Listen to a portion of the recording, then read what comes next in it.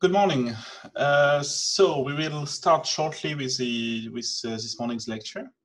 Um, so I'm recording this uh, video. Uh, I'm not sure how to make the recording available to you afterwards, but I'll see with the organizers. Um, uh, okay, thanks, Maxime, for the precision. Um, if you have any questions during uh, the lecture, uh, feel free to use either the Zoom chat, which might be the most convenient, or the uh, Discord Lectures Day 5 uh, chat room. I will try to monitor both uh, regularly.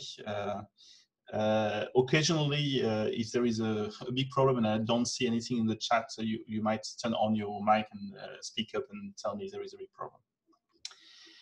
Okay, uh, so this morning uh, we will do an introduction to um, databases, basically, uh, to more precisely relational database management systems, uh, which are uh, methods and tools that are very useful to manage, process uh, large amount of data.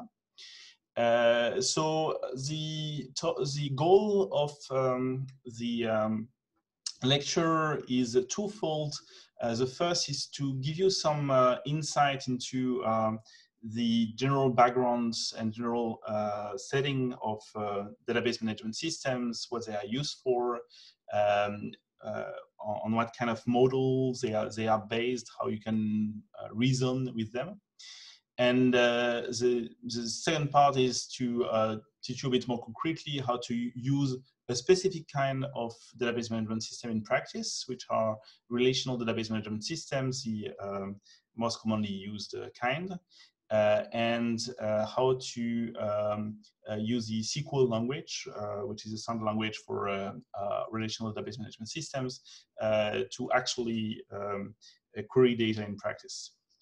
So for those of you who attend the lab session this afternoon, we will put what we uh, discuss this morning in practice uh, by using SQL to process uh, relatively large data sets related to the COVID-19 pandemic.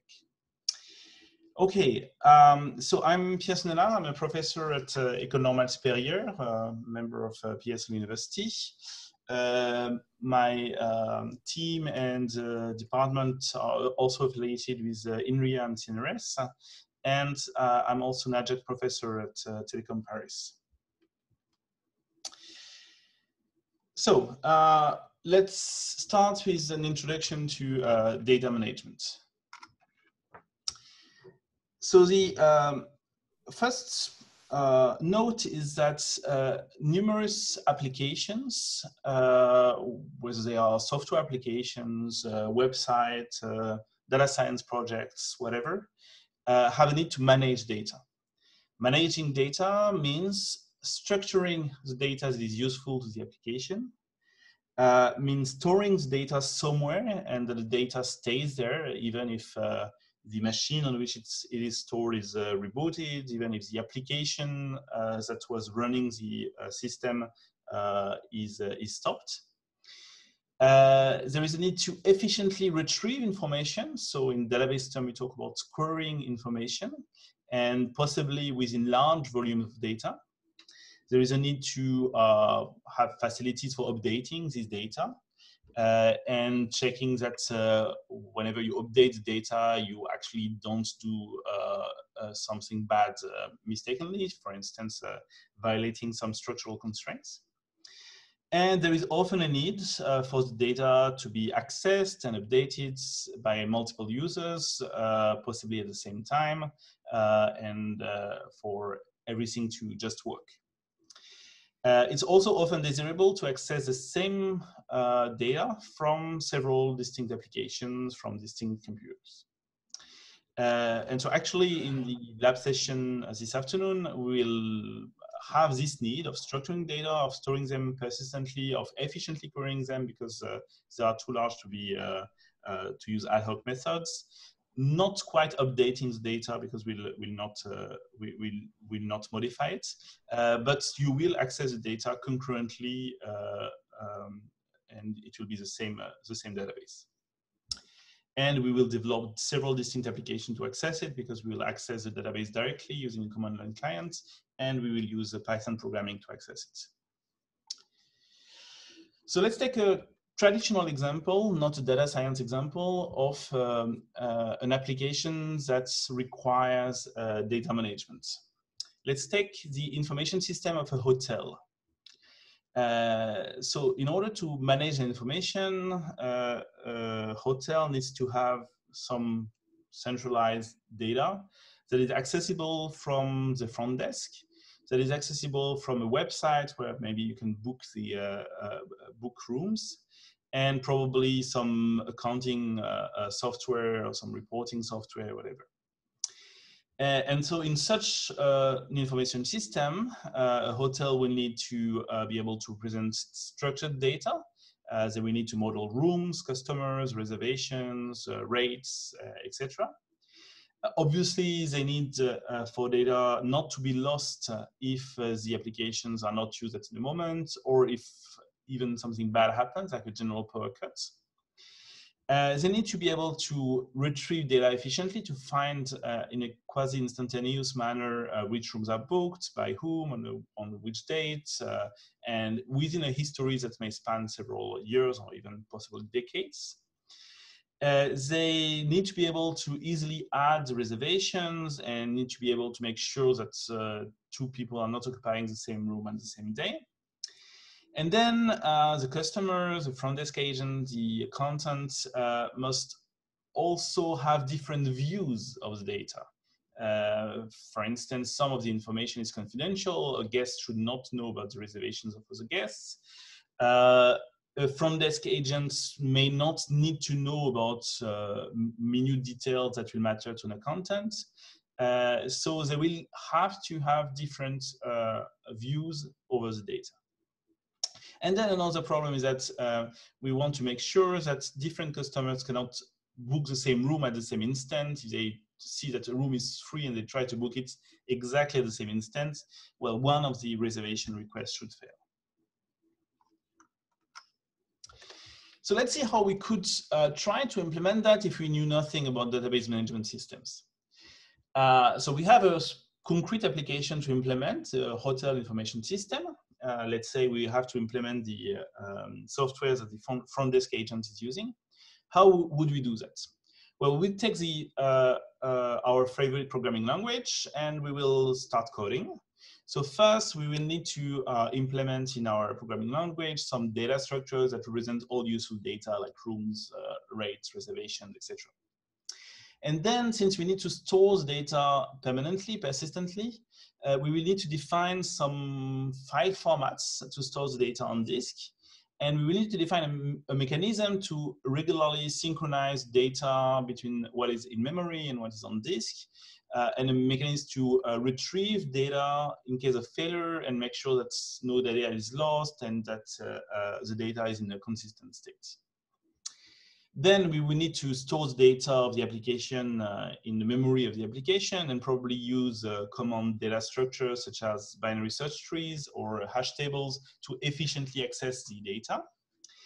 Uh, and uh, we will need to implement some um, algorithms like searching algorithm, sorting algorithm, aggregation, uh, graph traversal in some cases, to be able to find data efficiently.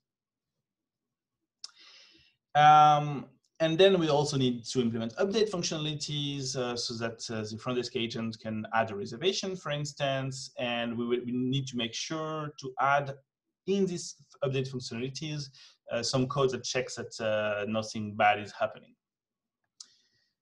Okay, so for instance, that we don't try to book a room that doesn't exist. And then, uh, well, we need to uh, add uh, authentication mechanism to the software we're developing so that different users have different roles that uh, uh, the front desk agent need, need, to authenticate with login and password. Uh, and that a customer who accesses data somehow cannot have all confidential information. Uh, we need to be able to process data concurrently. So we need to use uh, multi-threaded programming, for instance, to answer different queries at the same time. And as always, when you do multi-threaded programming, concurrent programming, you need to uh, make sure you avoid any possible race conditions, like two customers booking a room at the same time, the same room at the same time, uh, using mechanisms such as locks and semaphores. And then you need to uh, have all this data accessible, uh, so from a website. So you need to define a communication protocol between the application that is storing the data and the web server. Uh, from some Windows softwares that the uh, front desk agent is using, from some business accounting suites that uh, the accountant is using, etc. So this is actually a lot of work uh, to implement all of this. And not only is it a, a lot of work, but uh, in order to do that uh, in a clean way, uh, in a way that works and with no bugs, you need to have a programmer that masters object-oriented programming for data structures, uh, that masters serialization for putting data on disk, failover to uh, be able to uh, recover from a, from a failure, data structures and algorithms, managing integrity constraints, managing user roles, uh, parallel and concurrent programming, concurrency control to avoid uh, race conditions, networking, etc. Uh, this is uh, a bit uh, excessive to ask for uh, the developer of the application to be able to master all of this. So probably we need a team of people with various expertise to develop this. And this is just a simple thing. This is just the information system of a hotel. This should not be too hard to develop something like this. And then every time you have to develop an application that um, does the same kind of things, that has data to manage, that needs to handle uh, um, uh, failures, uh, uh concurrency, uh, access from multiple roles, etc., etc. You need to redo everything. You need to redevelop everything for every single application. So this is how it was until the 70s, basically. And then uh, starting from the 70s, a kind of software emerged, uh, which has been called the database management system, whose role is to simplify the design of applications that handle data by basically providing all the features that we uh, need to uh, develop a data-driven application, uh, basically for free or almost for free. Uh, and by providing a unified way to access the functionalities required for data management, whatever the application, if it's for a uh, hotel information system, for an airline uh, uh, booking system, for websites, uh, for a blog, whatever. So we will talk and we will use database management system, which are these dedicated software whose role is to simplify the uh, design of um, data-driven applications and to provide a lot of uh, necessary features uh, for all kinds of data-driven uh, applications with a unified interface. Uh, when I talk about database, well, database will be a collection of data that will be stored or managed uh, within a database management system. Uh, so sometimes in um, in speaking, one may uh, confound the two. One may call the database management system a database. I will try to be a little bit uh, uh, more formal in, in, in, the way I, I call things, just, just to be clear. So there are lots, lots of uh, database management systems. There are dozens of database management systems that are used in practice that are that have a, a user base, and there are different types of uh, database management systems. So the first type, the historical type, the type that has been prevalent since the end of the 70s, is relational database management systems. So in relational database management systems, data is structured in tables, in relations, name of relation just in tables. And you have a complex query language, which is called SQL or SQL, uh, uh, which allows to manipulate this data. And generally speaking, relational database management systems provide rich features. Uh, a lot, or, or, basically everything that I've talked to, uh, I've talked about so far, uh, failover, concurrency control, uh, user roles, uh, views of data, etc., etc., are provided by relational database management system. This is the main type we will talk today, uh, to talk about today. This is the type we are going to use in the lab session. It's not the only type. There are other kinds of uh, database management systems. Uh, so uh, one type is uh, XML databases. The idea of XML databases is that some kind of applications don't want to structure data in tables because the data uh, structure does not fit in, uh, uh, in a nice way as the structure of tables, but they want to structure data as trees. Uh, and uh, they still want to be able to do complex queries and they still want to basically have the same kind of features as a relational database management system, but they want to uh, have a different kind of data representation. so XML databases are, are, are for this purpose. Another kind of data representation is trying to model data not as tables, not as trees, but as graphs, or possibly as uh, triples, uh, uh, a triple just being uh, subject, predicate, objects, which is basically a link between a subject and an object annotated with some kind of predicate. So it's also basically a graph. Uh, and so graph databases or triple stores uh, are um, another kind of database management systems where data is represented as graphs and where you also have complex queries that express this time uh, navigation uh, over the graph. Uh, I'm, I'm, just briefly discussing these types here. At the end of the lecture, I will go back to uh, non-relational database management system and say a little bit more about when it's uh, interesting to um, use them. Then you have object database uh, system, which are um, uh, which have a data model that is inspired by object-oriented programming. Uh, also, again, a complex data model. And then you have other kind of uh, databases uh, where um, basically all these complex data, whether they are structured as tables, as trees, as graphs, or uh, as objects, uh, was deemed to be too much and where uh, it's considered that you can actually represent data in a simpler way and still have a lot of uh, the features that you need. Uh, so this is a realm, for instance, of document stores um, where the data is kind of still complex because you have a, a, a hierarchical view of, uh, of data using a document-like structure, a JSON-like structure, for instance. Uh, but you typically don't have a very rich query language. You're just uh, retrieving documents and doing some basic operations over the documents. You have key value stores with a very simple, very basic uh, data model uh, where you just have uh, pairs of key value, but a focus on performance and we try to have data that is as, I mean, data access that is as fast as possible.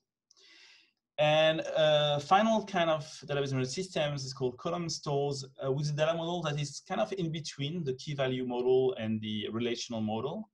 Uh, and there the focus is on iteration uh, on given columns of data and aggregation of the data within a column. Uh, so I will go back to all these types at the end of the lecture, but basically everything but the first has been um, described under the very vague term of uh, NoSQL databases, uh, NoSQL database management systems. Uh, so NoSQL doesn't mean something very precise. It's basically every kind of database management system that is not a relational database management system. So at the end of the lecture, I will talk about when it might make sense to uh, use NoSQL database management system and when you should just stick to uh, a traditional relational database management systems. okay, so um, don't hesitate if you have any questions so far. Uh, just type your question in the Zoom chat, for instance, and uh, I'll be happy to uh, to answer it. Uh, if yep, uh, what types are the most commonly used? Well, basically all of them are very commonly used. Uh, I would say, I mean, the relational type is the by far the most heavily used. Um, uh, in uh, some modern application and some application that require uh, specific needs, NoSQL databases and especially documents stores, key value stores have quite some um, popularity. Uh, but I would say that all of the times that I've, uh, I've been here have been used for real applications uh, by a non-negligible amount of users. but by far the relational database management system type is uh, the uh, most prevalent one and has been uh, uh, for a long time. Okay, uh, so we will now talk about specifically the relational model. Uh, so how uh, do we represent relational databases in the uh, relational model so that they can be stored uh, in relational database management systems?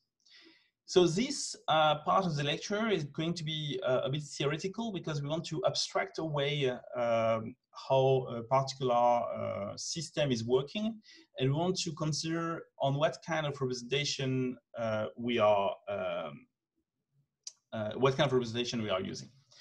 Uh, in, uh, in, in a further parts, I will talk more precisely about one uh, specific query language and how to do queries in practice. But I want to first abstract away and see what is a model. And so this is called the relational model and uh, what kind of features we expect from a query language uh, and how can we model them in a kind of abstract way. And this is the role of the relational algebra. Okay, so I'm going to talk about relational database management systems, and I'm going to talk specifically about classical relational database management systems. At the very end of the lecture, I will uh, just mention that there are other kind of relational database management systems that have been sometimes called NewSQL systems uh, that basically uh, have the same data model but have different implementation principles. For now, I'm sticking with the uh, classical uh, model. So all these database management systems, so you see a list uh, on the slide of the most popular one. You have the commercial one. Oracle uh, is the leading industry in databases. Uh, and um, so their system, the Oracle database is uh, heavily used in enterprise environments. But Microsoft has SQL Server, IBM has DB2, um, Sybase is a very popular database management system also. And the open source world, you basically have three main um, relational database management system. SQL, SQLite, which is a small one uh, that is uh, used in embedded environments, that is used when you need a small, simple database layer within, a, within an application. And then two more features, featured ones, uh, MySQL um, and Postgres, uh, and Postgres. Uh, both of them have comparable features. Postgres is a little bit richer in terms of uh, features and a little bit is a little bit more professional in some sense, but both of them are quite comparable. Uh, in the lab session this afternoon, we'll use Postgres. So all of them have a lot of things in common. Uh, they use a standard query language, which is SQL. Uh, the data is stored on disk. Um, and so traditionally it's on um, magnetic disk on hard drives.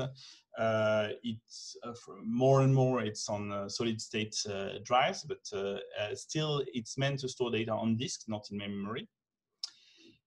Relations, so the tables that structure the data, are stored line by line.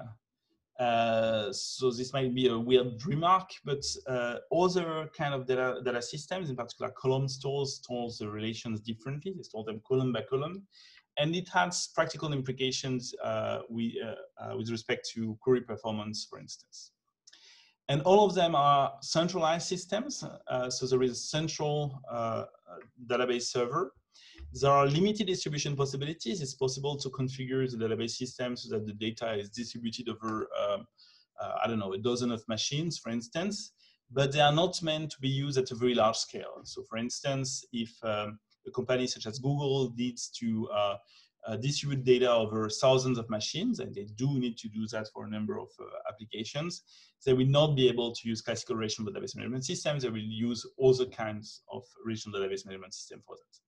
Uh, but but for uh, uh, most common uh, applications, even storing quite large amount of data, classical relational database management systems are very well adapted. So let's discuss a little bit the data model. So uh, um, a database, uh, with, which is stored within a relational database management system, uh, has a schema. Uh, the schema of the database describes basically what the type what the, of the data is, how the data is structured. Uh, so to abstract things a bit away, we are going to assume that we have a set of uh, labels, um, and just afterwards I will give you practical examples of what this might be. Uh, so labels uh, uh, will just be names that we give to tables, that we give to table columns, etc. We'll assume that we have sets of values, and the values will be whatever we store in the database. Um, and we'll assume that we'll have sets of types. And the type, one specific type is just a set of value. Uh, so basically you have the types of character strings, you have the types of integers, etc. And one type is just a set of values. Now, uh, what we call a relation schema, or sometimes a table schema, is a tuple. And so we, we, we say that the relation schema, schema is of arity n uh, if uh, uh, the tuple is an n tuple, is a tuple of arity n. Each element of this tuple is called an attribute. An attribute is uh, defined by two things, a label and a, and a type. So relation schema is a sequence of attributes, each attribute uh, having a type and a label. And we just require that all the labels are distinct, that within relation schema, you don't have the same um, uh, uh, label of an attribute occurring twice. So a relation schema is basically uh, something that tells you how a relation, how a table uh, is structured. And a table has n columns, and we call these columns attributes and each column has a pair, uh, has a label, has a name, the column name, and has a type, which is a type of values that will be allowed within the table. Uh, so it's just a formal way to say that we are going to define whenever we are working with a relational model. For every table that we are going to use, we are going to define the number of columns that this table has, and for each column, its name and its type. Nothing more complicated than that. And then a database schema is just a uh, collection of uh, a finite collection of relation schemas, each being given a name, each being given label. So database schema is a set of table names and finite set of table names, and each table name is associated with a relation schema. For each table, we say, well, this table has n attributes. The first attribute uh, is called this and has this type. The second attribute is called that and had that type, etc. So simple example, sorry, uh, I had some problem with the slides. Um, simple example uh, of a database schema. Uh, we are going to define the set of labels, L, as just this set of alphanumeric character strings starting with a letter. Uh, so basically what's uh, used to, uh, as an identifier in most programming languages and basically also what's uh, used uh, in SQL uh, as a, a, legal label that you can assign to an attribute or to a table, the legal name that you can give to an attribute or to a table. So set of values will just say that uh, values are just finite sequence of bits, um, just uh, anything that you can finitely represent uh, on the computer. And types are uh, specific types such as integer, which will be um, uh, uh, all the integers you can represent as a sequence of bits and that are, I don't know, between minus 2 to the 31 and 2 to the 31 minus 1. Uh, real, which are uh, uh, floating point numbers, representing using a specific standard as a finite sequence of bits. Uh, character strings uh, using a specific uh, encoding, dates using a specific way to turn date into character string, which itself will be represented as a finite sequence of bits, etc., etc. Uh, so types are just um, uh, common types that you might ex expect from a programming language. Uh, and here there will be types of the data that are allowed within uh, attributes of a relation in a uh, database. So this is an example of labels, values, and types. And now from this example, we can build a database schema. And let's say that our database schema. So again, the database schema is just a finite set of uh, table names, of relation names, and each relation being associated with uh, its relation schema. So uh, a database schema uh, here, for instance, will have two um, uh, relation names, guest and reservation. Uh, I wanted to put a capital R to reservation. it's just a minor typo. Um, so guest has a specific schema. Uh, it has arity 3, which means that it has three attributes. Uh, the first attribute has label ID and type integers. Second attribute has label name and type text. The third attribute has label email and type text, etc. And reservation has a relation schema and uh, has arity 5 uh, with uh, five different attributes with uh, five labels and types. So this is actually very simple. We are just saying, I'm going to store in my database two tables. The tables, the table I'm going to call guest and the table I'm going to call re reservation. Uh, guest will have three columns. Here are the name and the type of each column. Reservation uh, has uh, five columns. Here are the name and the um, type of every uh, column. So nothing complicated, uh, complicated here. Well, important thing to note is that so far, I haven't actually talked about the content of these tables, the actual data that will be stored uh, in them. Uh, I will just, um, I have just um, uh, talked about the schema of these tables, which is their, their structure, their type, uh, when I'm at the schema level, I'm not talking about the content of tables, I'm just talking about the structure and the type of, of tables. Now, now I'm going to talk about the content. So what is actually a database? Uh, first, I need to define what is a relation, what is a table.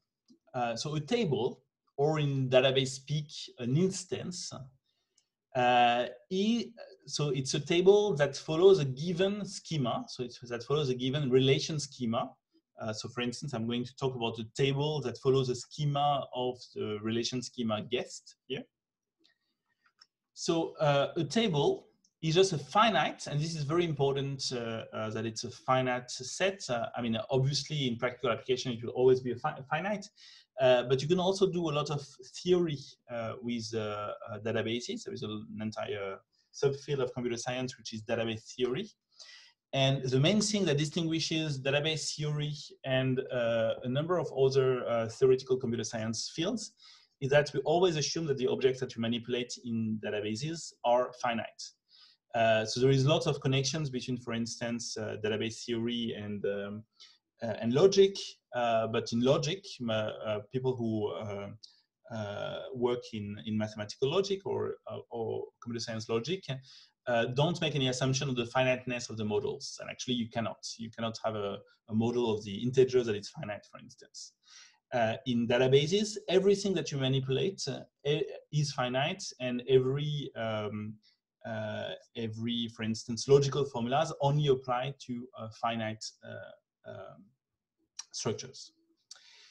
So this being said, an instance of a relation schema, an instance of a table schema. We all call it a relation on the schema or table uh, on the schema, an instance on the schema, is a finite set of tuples.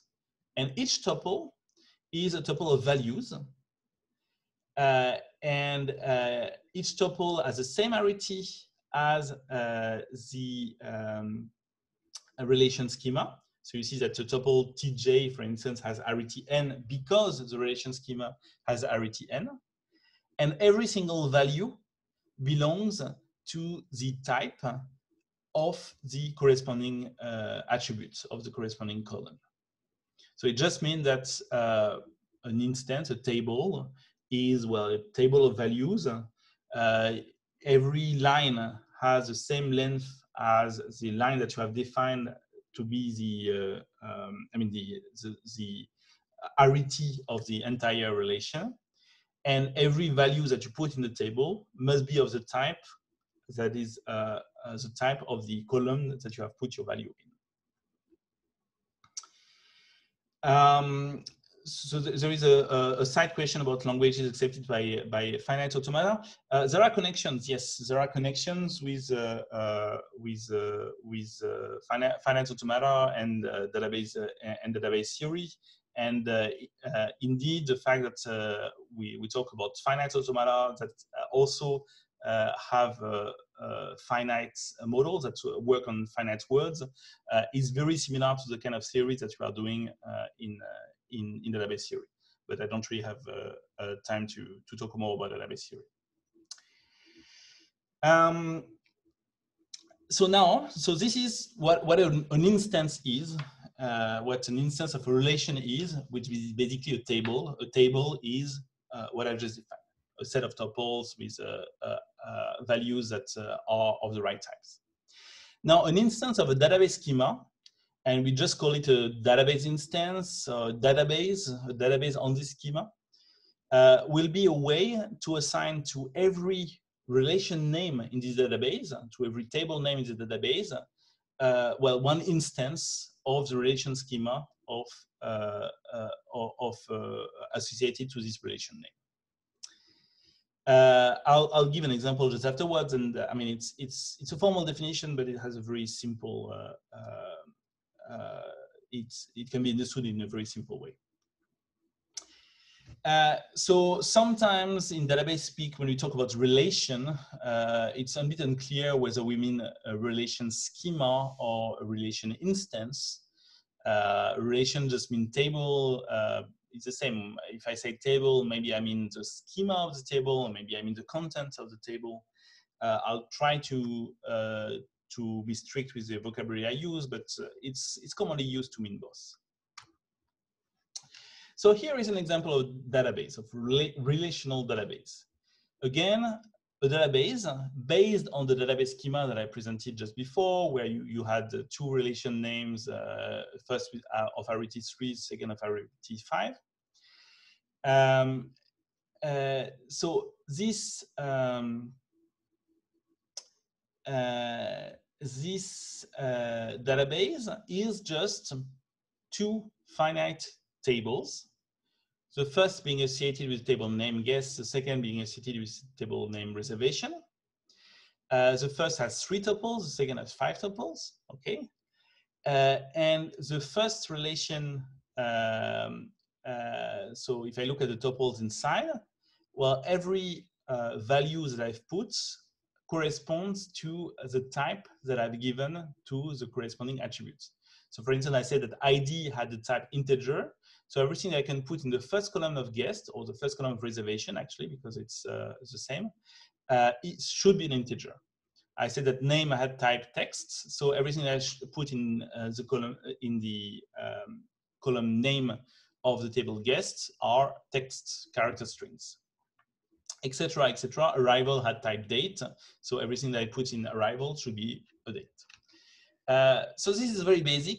Uh, we are just manipulating tables, and every uh, table has a specific type.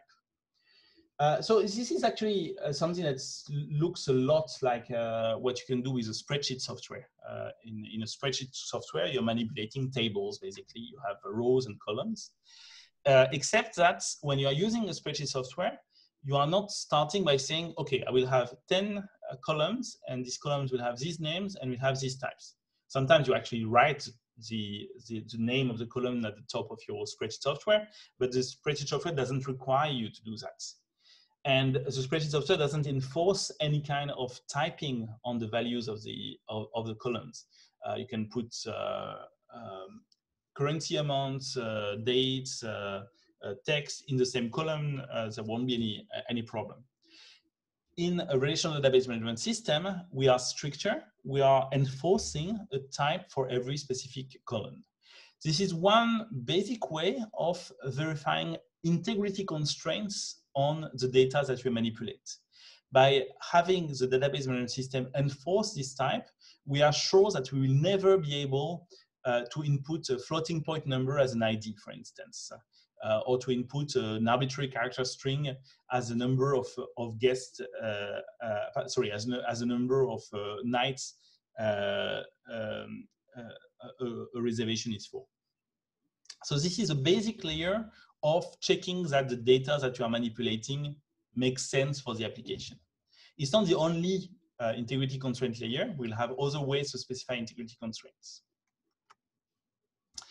So to uh, express integrity constraint, I will need uh, some more um, some more notation. Uh, so if I have an attribute, so again, an attribute is just a column uh, at the schema level. And if I have an attribute that is a label and a, and a type, which is the uh, ith, uh, the attribute number i of uh, a given relation schema R, uh, and if I have a tuple of an instance of this relation schema, then we will write t bracket a, uh, or sometimes just t bracket l, uh, to be the value of the ith component of t, which means that since we have given names to columns, instead of saying I have a tuple, I want its fifth component, I'm going to say I have a tuple, I want uh, the component that is called nights. That's just this.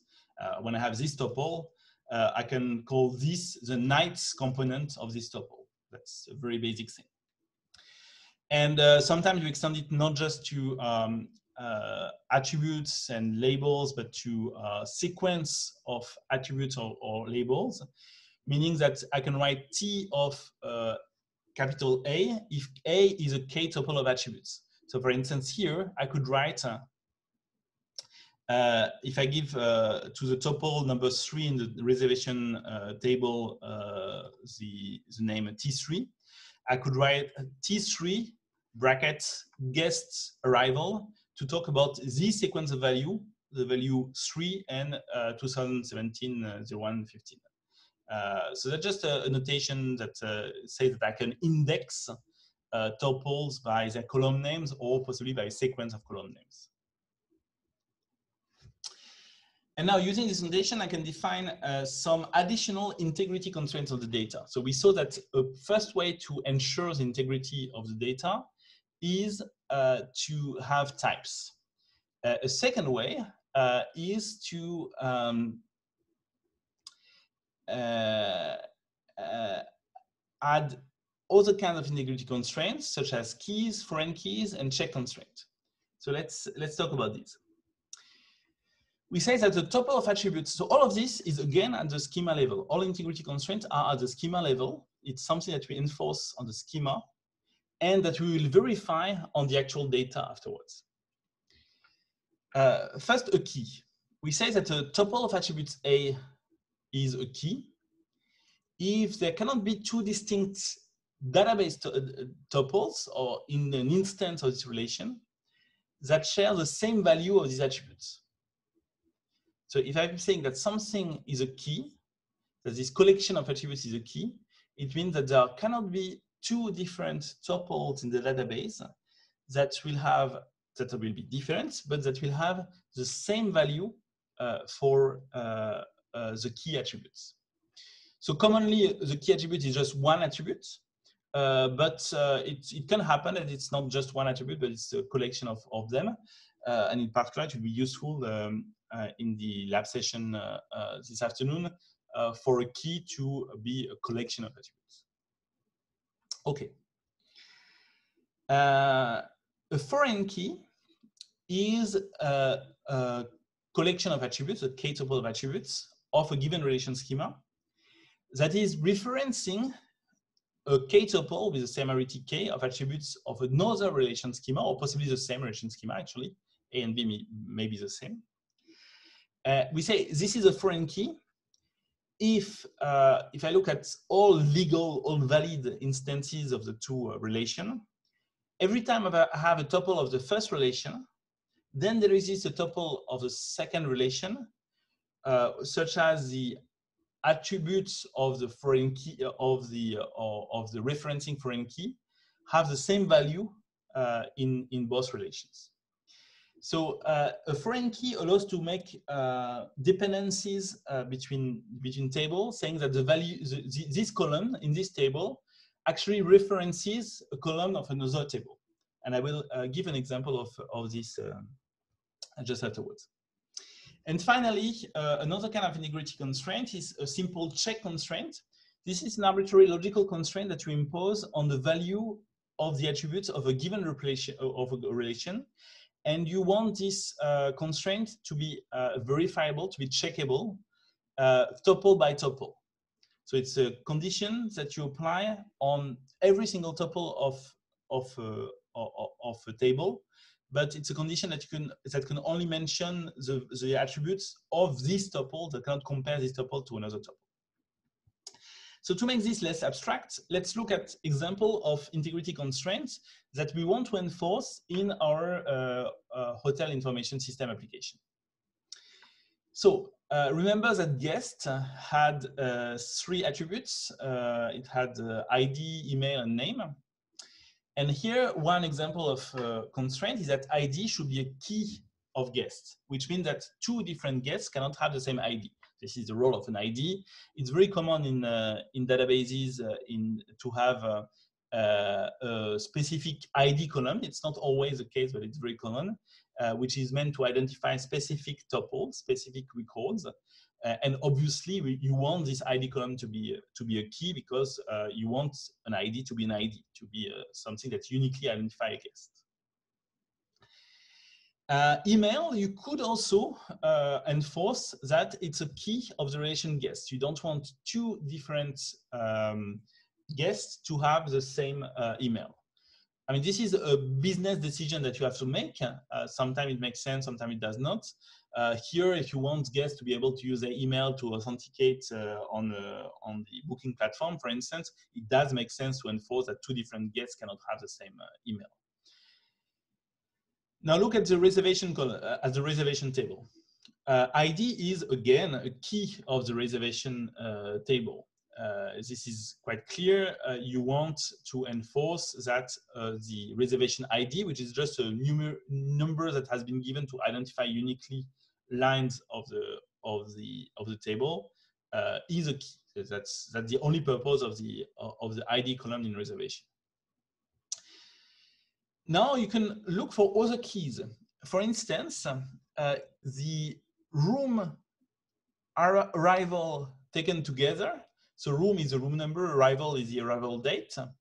Uh, is also a key of reservation because you don't want two different reservations for the same room arriving on the same date that's quite clear. You, this, is, this should be a key. You cannot have a the same room uh, booked on the same date um, in two different reservations.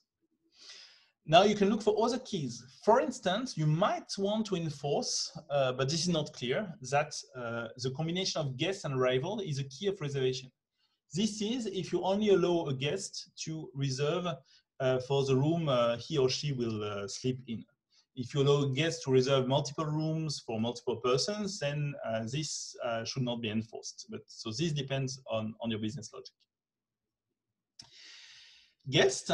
Uh, so if you remember, I will put put back the example uh, for a second.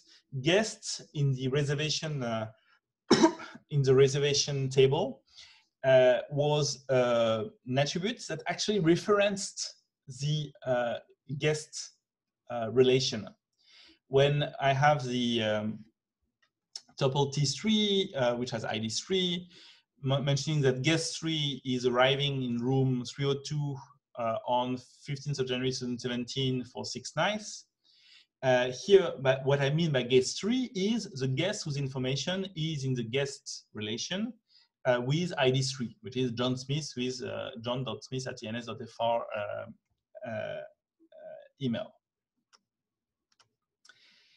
Um, so this means that we can say that guest, the guest attributes of the reservation uh, uh, table is a foreign key referencing the ID attribute of the guest uh, relation. This is the purpose of foreign keys to be able to link two tables together to say that uh, the attribute that appears in this table is actually a reference to uh, another attribute in the same table.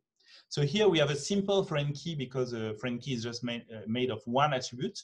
We could have a more complex foreign key with several attributes that together reference uh, another column. And then you can have some check constraints. Uh, these are just basic uh, things that you are checking at the level of every single attribute. For instance, you may want to say that an email must contain an arobase, or you may want to actually say that an email must uh, uh match a pattern that's more closely uh, uh, resemble the definition of, of, of an email.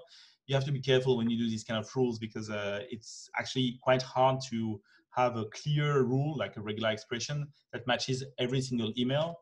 I just put a very simple rule here. Every single email does have an arobase. So this is a very simple and uh, light uh, uh, integrity constraint. Reservation, for instance, uh, we, have we, we know that the hotel uh, has only rooms uh, numbers between 1 and 650. Well, we can enforce it as a check constraint. In a maybe more realistic example, we could have a, a, a third relation, which would be a, a, room relation, where we list all the particularities of every room, uh, like uh, uh, what is this uh, area, uh, if uh, how many people it can it can uh, host, etc. And then room, uh, we would indicate that uh, it's actually foreign key to this other room room table. Here we just have a simple check constraint on room. Another simple check constraint is that the number of nights we declare it's an integer, but obviously it should be a positive integer. It doesn't make sense to have a negative integer. It doesn't make sense either to have a zero number of nights. Uh, so we just say that the number of nights must be positive. It must be greater than zero. Uh, this, this does make sense. So all of these are examples of integrity constraints that we can enforce on the database without looking at the data actually. This is not data dependent. This is uh, for our particular application, in our particular logic, this is rule that I want to enforce. And then every time I will add data to my database, the database will check that all these integrity constraints are satisfied.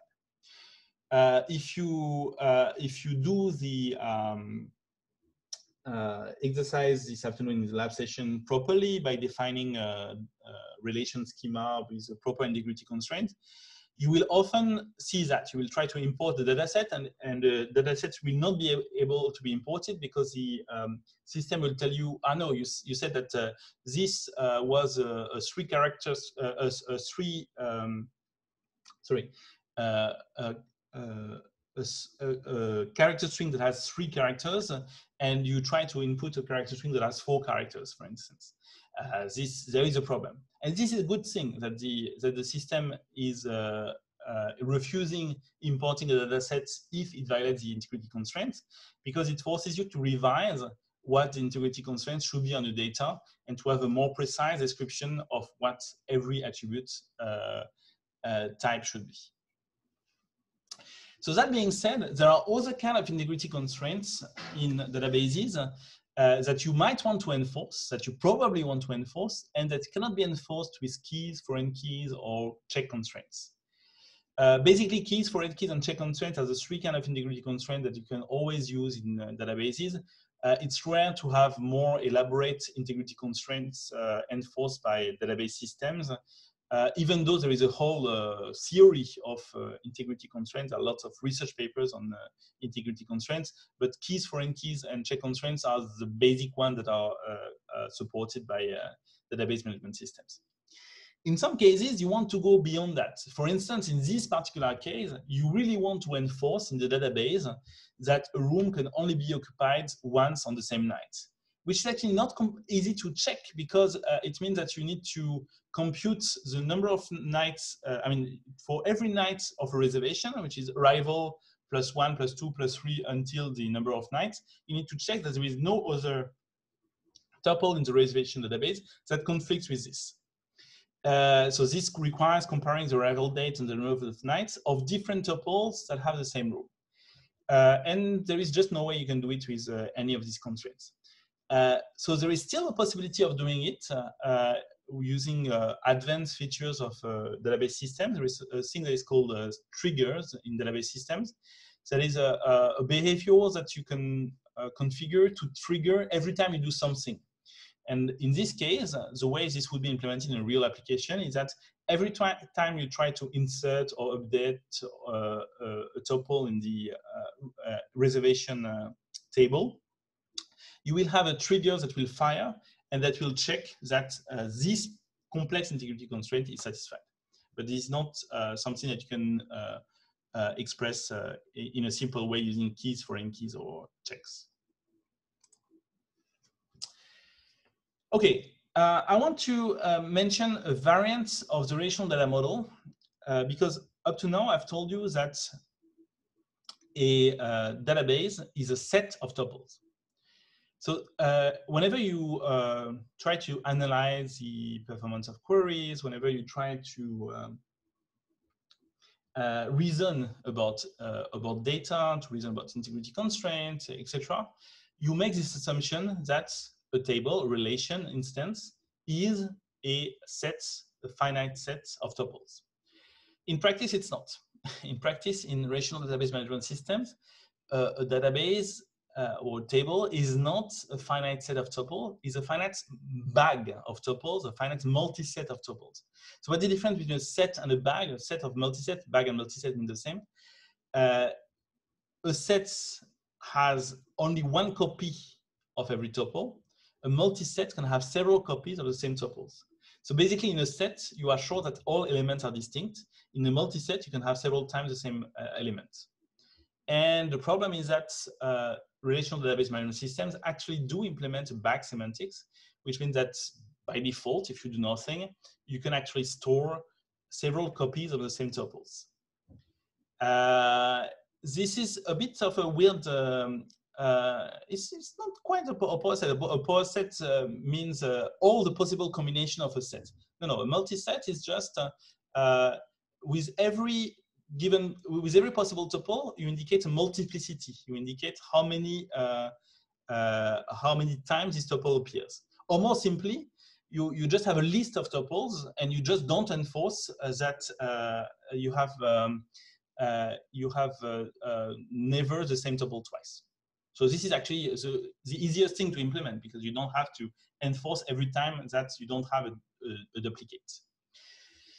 Uh, so there is uh, this um, bag and multi-set, but bag is actually a mathematical world. Uh, uh, mathematicians do talk about bags or multi-sets. Both, both of them are both of them are fine. Um, so um,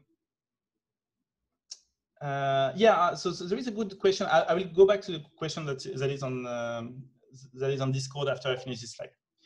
Um, so uh, this, this, there is a mismatch. So there is this mismatch, a bit of a weird mismatch uh, between uh, what the theory is, set semantics, and what the uh, practical uh, applications are, bag semantics.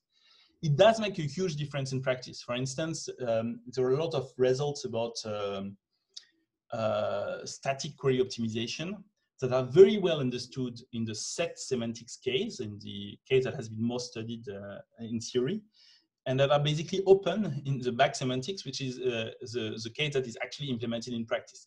Because it's always, uh, it's, it's really more difficult to reason about bags and about sets. That being said, in practice, uh, I mean, this is, a, this is a difference between what the theory says and what the implementation does. But in practice, it might not uh, uh, cause you any problem because in practice, uh, one would like often to enforce that a table doesn't have the same uh, tuple twice. And as, as soon as you have a key within a table, here we said that the ID was a key of the table guests. So it means that there cannot be two tuples with the same ID. Uh, so since you have enforced that, you also have enforced that you, you don't have a multi-set, you have a set in this table. Uh, same for reservation. So this is, this is fine. But you need to be careful because even if all your tables or your base tables are sets, there are no, not twice the same tuple, uh, which will almost always be the case in practice. The table that you start with will, will be set. After you manipulate them, after you query, after you, you do some reprocessing, well, you can end up with things that have duplicates. So you still have to think about this difference between the duplicate, uh, the, the set and bag semantics, because you might produce duplicates even if you don't start with duplicates. Anyway, um, uh, when I present the the uh, theory, I will talk about sets. When I will present the pr practical implementation, I will talk about bags because this is how it, uh, how it works. So I'm uh, going to come back to the question that has been asked on Discord about, um, well, should we always avoid information redundancy within the database? Uh, for instance, uh, uh shouldn't we store the days a customer will stay every single day instead of having only one tuple, etc. So this is a, a, very good question because indeed, in most cases, not in all cases, but in most cases, one a very basic design rule of databases is to avoid redundancy at all costs. Uh, and there is actually a lot of ways that uh, people have um, come up with uh, to make sure that the redundancy, redundancy is minimized in a, in a database. Um, uh, so why do we do that? Because redundancy uh, often causes issues. For instance, we could uh, uh, we could uh, have uh, several lines here for the reservation of the of the guest three in room 302, one for every night he's he's staying in.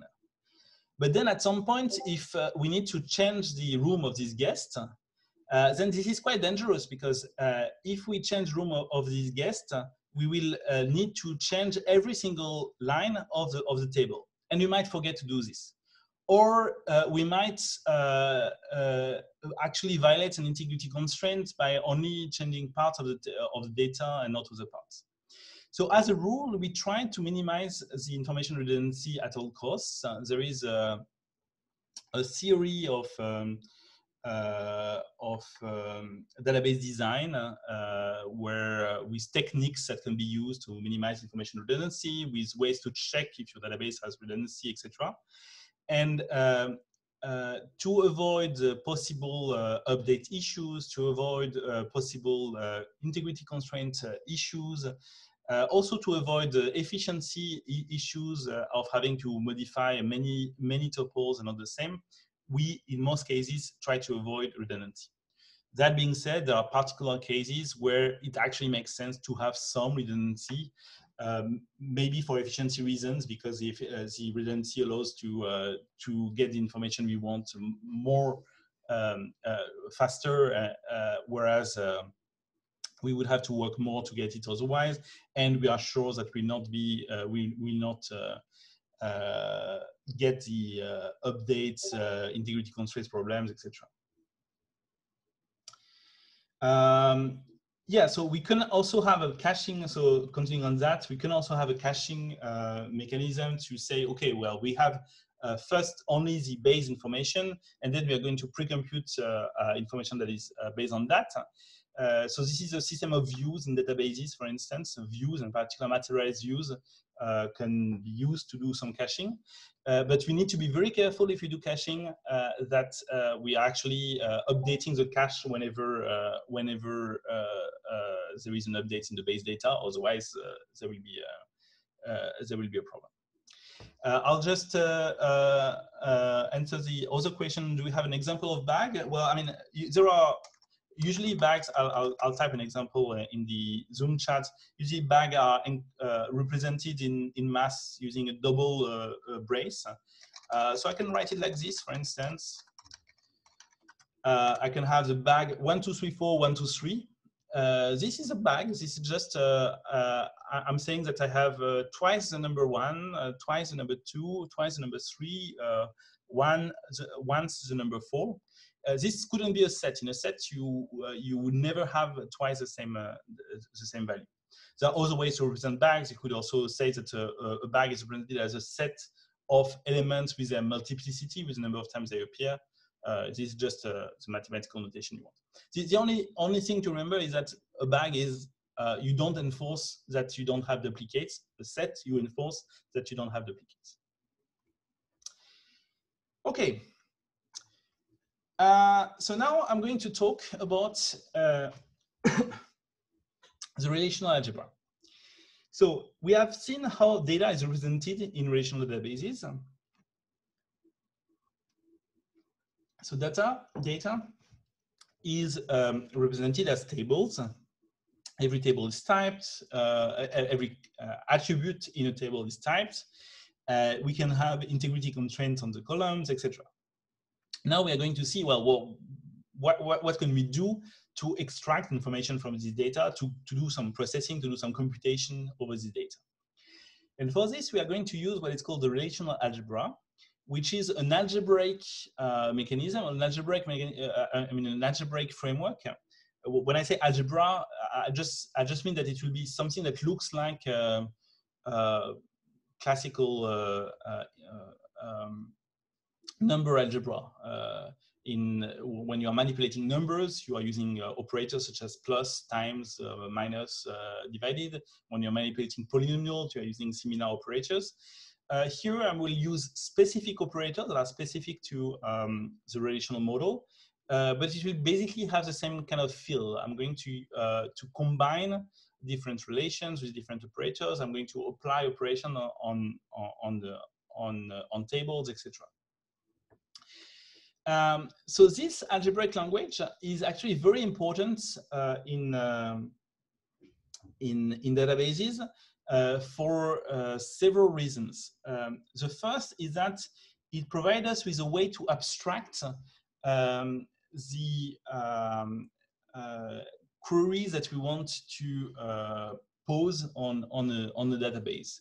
Uh, we can obviously use a very concrete query language, and we will see one such concrete query language, which is SQL, but um, uh, we often want to have a more abstract view of these uh, of these queries. So, for instance, when you are implementing a database management system, uh, you don't care about the detail of the um, of, the uh, query language uh, syntax. You just want to have a, an easy view of what your query actually means.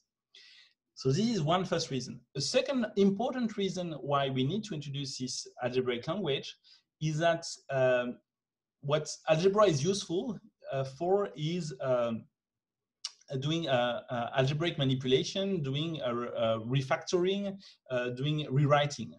Uh, when you have an expression involving numbers, you know that you can uh, uh, develop the expression, expand a expand a product, for instance, try to factorize something, etc. This will be the same here. You will have an algebraic expression, and you will be able to apply some rewriting rules that turn your algebraic expression into another algebraic expression that is equivalent, that has the same that have the same meaning. And this will be extremely useful for efficiency reasons. Uh, it will mean that uh, you will write a given algebraic expression to express what you want from the data, and the system in the background will rewrite this algebraic expression into another one that is slightly different, but that actually compute the same things, but that will be much more efficient to uh, evaluate. Uh, so the relational algebra is useful to, to think about what, what we want from the data, and it's also extremely useful within a relational database management system to optimize how efficient uh, uh, data access will be. Okay, so we have an so relational algebra will be an algebraic language to express queries. Um, uh, a relational algebra expression. So it would be a, an expression like uh, when you combine numbers with plus times uh, minus, you'll have an expression. Relational algebra expression uh, will produce a new relation. The result of evaluating an expression is a relation, is a table, the the table. Uh, each uh, operator of the relational algebra is either nullary, unary, or binary, which means that it either produces a result on its own or it takes a sub-expression, or it takes two sub-expressions. And uh, here are all the operators uh, that we are going to talk about, or the main operators we are going to talk about. Uh, we are going to see them all in detail. I just want to, to, to name them first. Uh, so we have an operator that just returns, it's a nullary operator, it just returns the content of a relation, and the operator is just the name of that relation. We have a renaming operator that is, uh, that is used to rename uh, attributes. We have a projection operator that is used to uh, remove or reorder attributes. We have a selection operator that is used to filter out some tuples. A cross product, which is like the cross product in regular algebra, which uh, uh, computes all the combinations between two different uh, relations. The union, which is exactly the same as a, as a union in, in regular um, set union, the difference, which is the same as a set difference, and the join, which is a very um, uh, relational algebra specific operation, uh, which is very important, which al allows to combine two relations or more uh, in um, uh, in uh, in a way that makes sense. For instance, in a way that follows the foreign keys. So I'm going to go over all of these operators on examples to see what they mean. So uh, in, in the presentation of all these operators, what I'm going to do is that I will have at the top right of the slide in small uh, a reminder of what, what the uh, input database is. So remember in the input database, you have uh, two tables, a guest and reservation table. Uh, the guest table has three tuples, reservation table has uh, five tuples, whatever. And I'm going to um, uh, I'm going to look at different relational algebra expressions and see what the results of these expressions are. So again, relational algebra expressions applies with uh, in the context of a database. So in some sense, it takes as input a database and it produces as output a table, a relation instance. Uh, so there is a bit of mismatch actually here uh, in it, it's a bit of a weird design uh, uh, choice because uh, usually when you when you want to have a language to manipulate data, you want the input and the output to be of exactly the same type. Uh, for instance, in XML databases, the input of a query is an XML uh, document, and the output of a query, of an XQuery query, for instance, is an XML document. Um, in in the um, relational case case, the design choice that was made is that the input is a relational database, a database instance. The output is just one relation. You cannot have as output multiple relations. It actually makes sense in practice. It's easy to manipulate, but there is a little bit of, of uh, compositionality issue here. Usually when you design a compositional language, you try to have the same thing as input and as output. Anyway, so as input, you have the database. As output, you produce one table. Well, what table is produced uh, as output of the expression guest. So this is a relational algebra expression, guest. You just give a relation name. Well, the output is just the content of this relation. This is very, very simple. When you apply the query guest on the database uh, that is at the top right, you obtain uh, a uh, relation that is a copy of the guest relation. Nothing complicated here. Let's look at the renaming operator. So the renaming operator is a unary operator, which means it takes a sub-expression. so to make things simple, the sub-expression here, I'll just take the guest sub-expression we, which we just built, which copies the, the, the guest table. So the renaming operator uh, has a renaming at the uh, as a um, uh, sub um, uh, as, a, as an annotation of the of the operator. So here we are renaming ID into guests. So, and the renaming operator itself, we name it with a Greek letter rho. Um, so this results in a new relation, which is identical to the input relation, to the guest relation, except that the ID attribute has been renamed into the guest attribute. So again, really nothing uh, very complicated here. Uh, the renaming operator allows you to rename attributes. Fine. The projection operator now. The projection operator takes as inputs a sub-expression, for instance, here the uh, output of the guest relation, and uh, we uh, specify a number, a sequence of attribute names. So here, the sequence of attribute names that we have specified is email ID. so uh, the projection on email ID of the table guest is this new table, which has two attributes. The attributes are the attribute name and type are the names are exactly those mentioned in the in the projection annotation. The type is exactly those from the original uh, relation.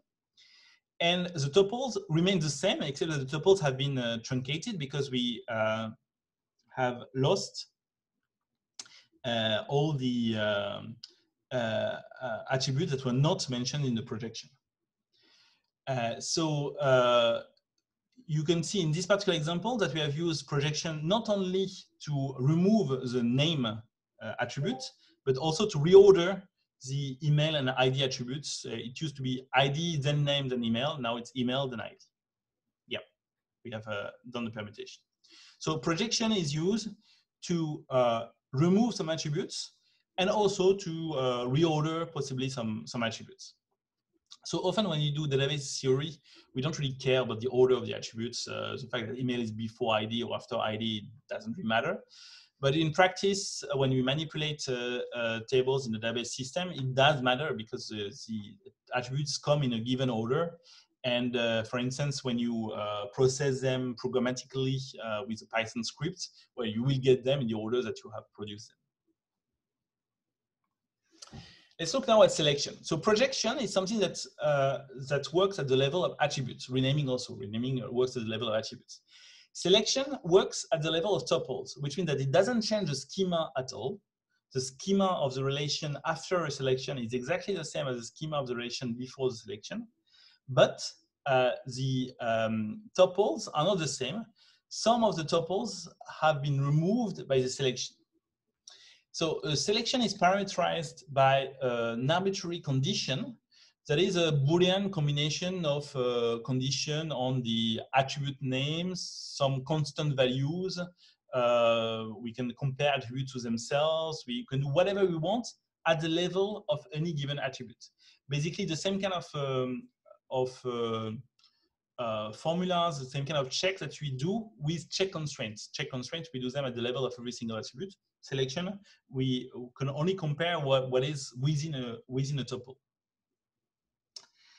Um, so uh, here we have made the select the expression. So this time we use the reservation uh, table as a sub expression.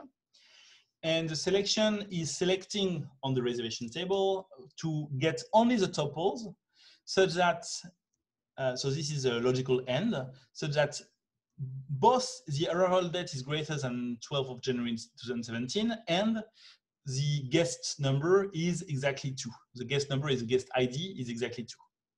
So if you look at the uh, at the uh, table on the top right, which is in small, but you can find it find it in larger in, uh, in on the slides, um, you will see that there are only two tuples that match this condition, because the tuple one, two, three, well, for uh, so the tuple one and three are not about the guest number two, and the tuple two uh, is for reservation that is on 10th of January 2017. So it's not, uh, uh, it doesn't match the uh, expression of the selection.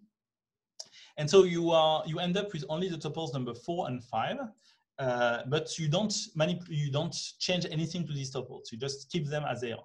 So the selection, the only operation, you don't change the schema, you don't actually change the content of tuples, you just remove tuples, you remove all the tuples that do not uh, match the selection condition. Okay. Uh, let's look now at the cross product.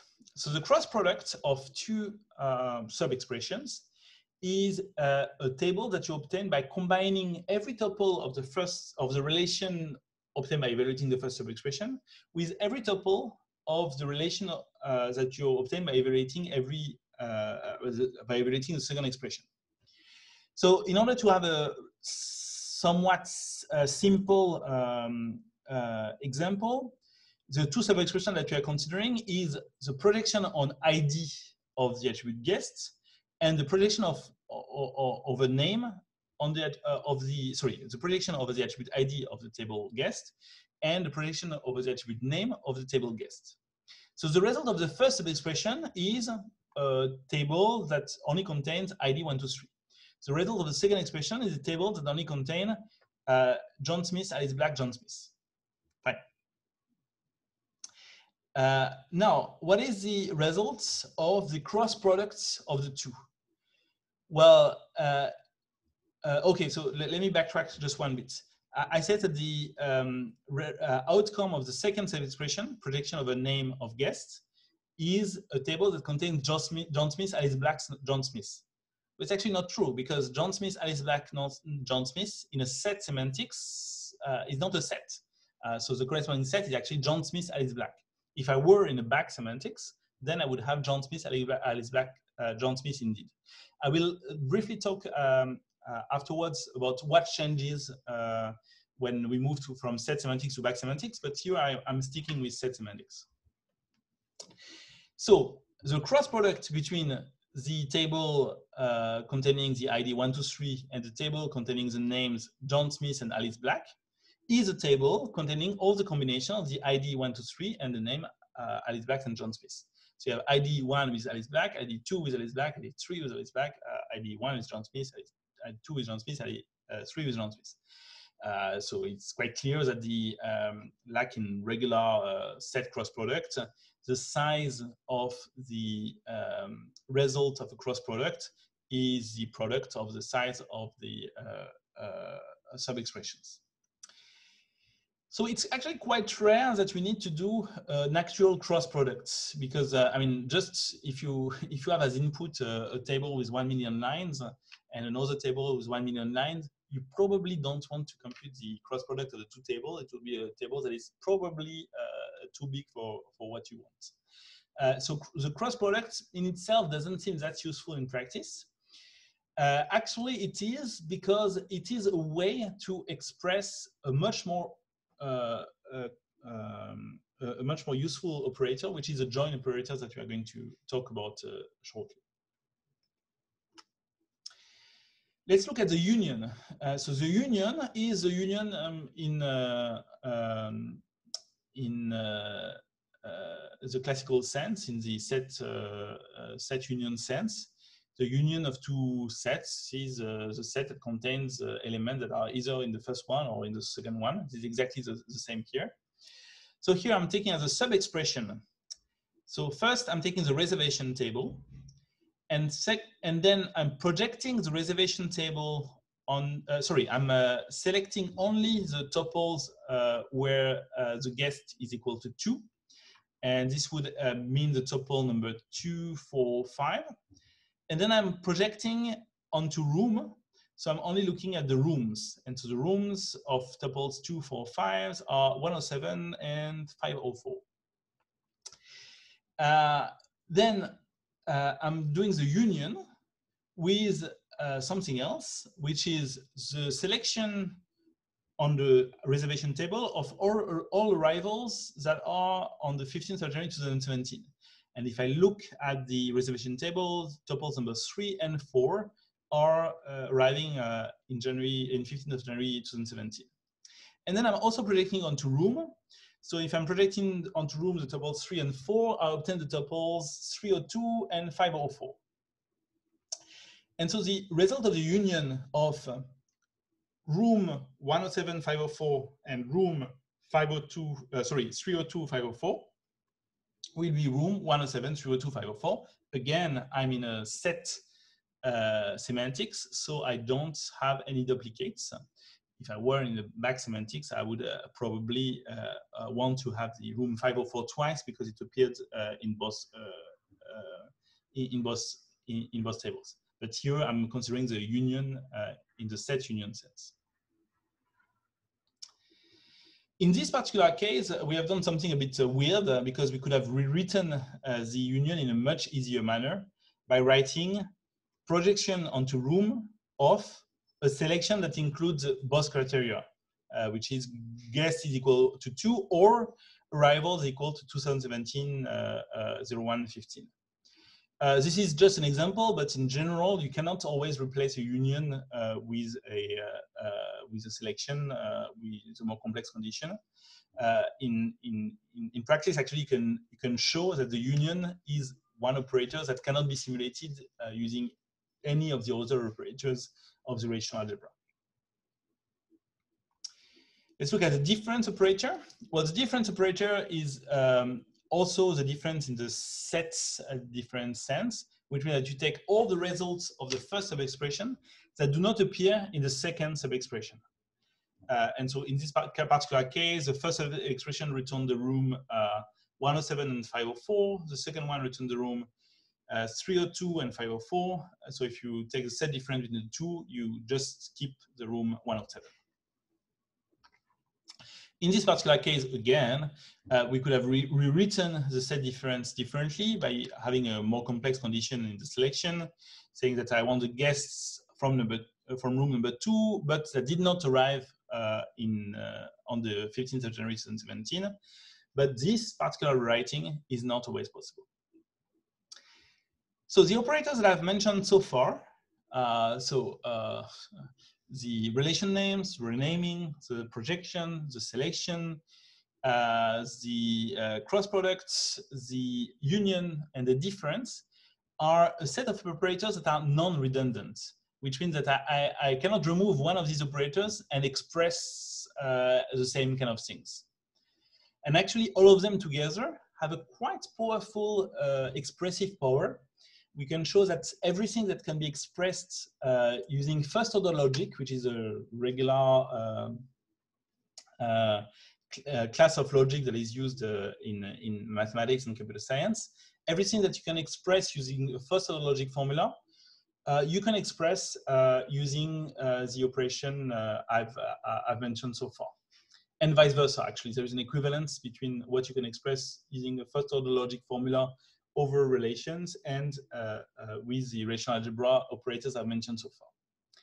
So we are going to do uh, to do shortly a break. After the break, we are going to introduce a join operator, which is actually a redundant operator. We don't need it in the algebra uh, to be complete. Uh, it, it, only does things that the other operators do, but you actually need it in practice because it's uh, it, it amounts to something that we very uh, much want to do in practice. Um, there's a question about the, the uh, I mean, the um, computing power required by all these operations. Uh, so this, these are different levels. If I, if I look at the operation, so relation name is basically copying. So the uh, you just need to to copy the initial relation. So the complexity is a, a big O of uh, the size of the initial relation. The renaming, uh, you basically don't need to do anything. You just need to rename the schema. So it's a big O of one uh, operation.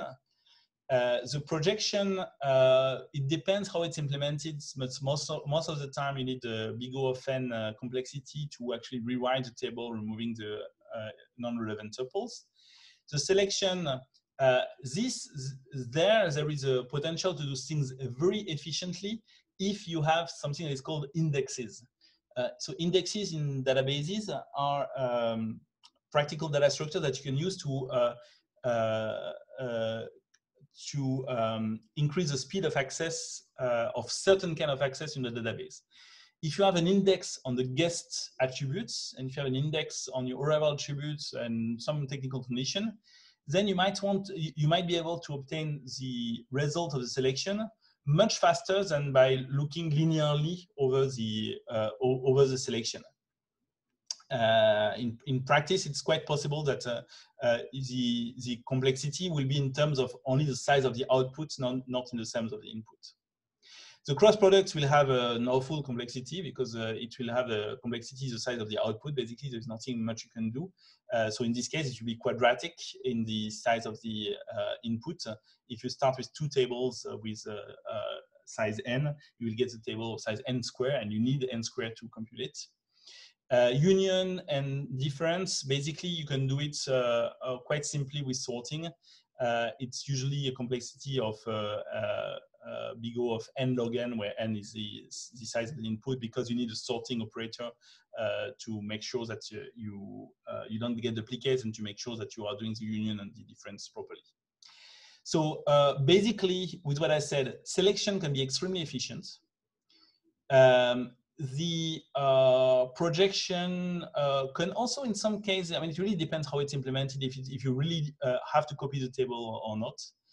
Um, difference, uh, union, uh, uh, and renaming is for free. Difference, union, I mean, it's a bit costly, but it's it's still n log n, which is which is fine. Cross product, avoid at all costs if you can. Uh, but again, we will see that in practice, we don't really want to do a cross product. We want to do something uh, uh, which is more kind of a join, which is uh, faster to evaluate.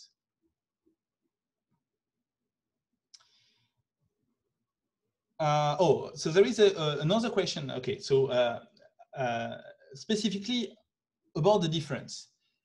we, we have shown two ways to express the difference, and there is a question, well, which is less costly to evaluate?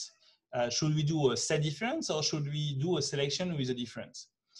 Uh, this, so the, the answer is well, usually it will be the second one, but it will uh, it will depend uh, heavily on what kind of uh, um, index indexing structure you have. But the, the, the better answer to this question is that you don't care, because this is a job of the relational database management system to determine which is the best way to write this query. You are going to write this query using the SQL language in one form, maybe it will be a form that is very close to the first expression I mentioned with the set difference.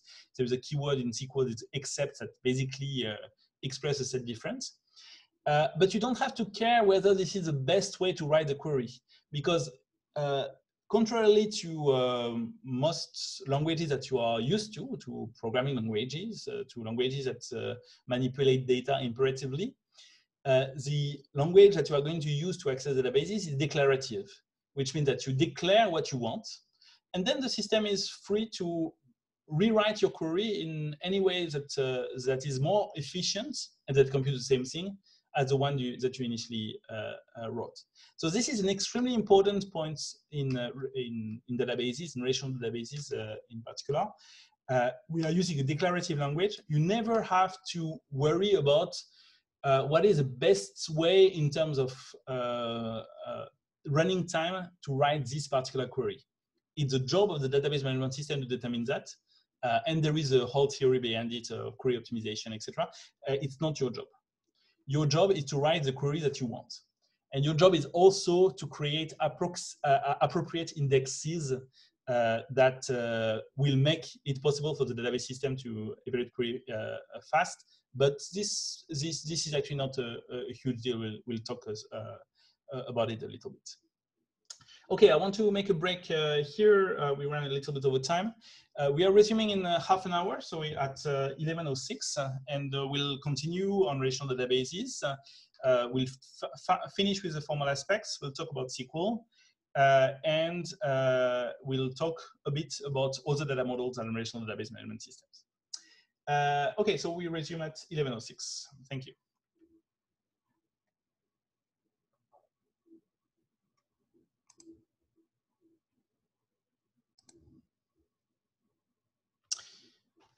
Okay, let's resume.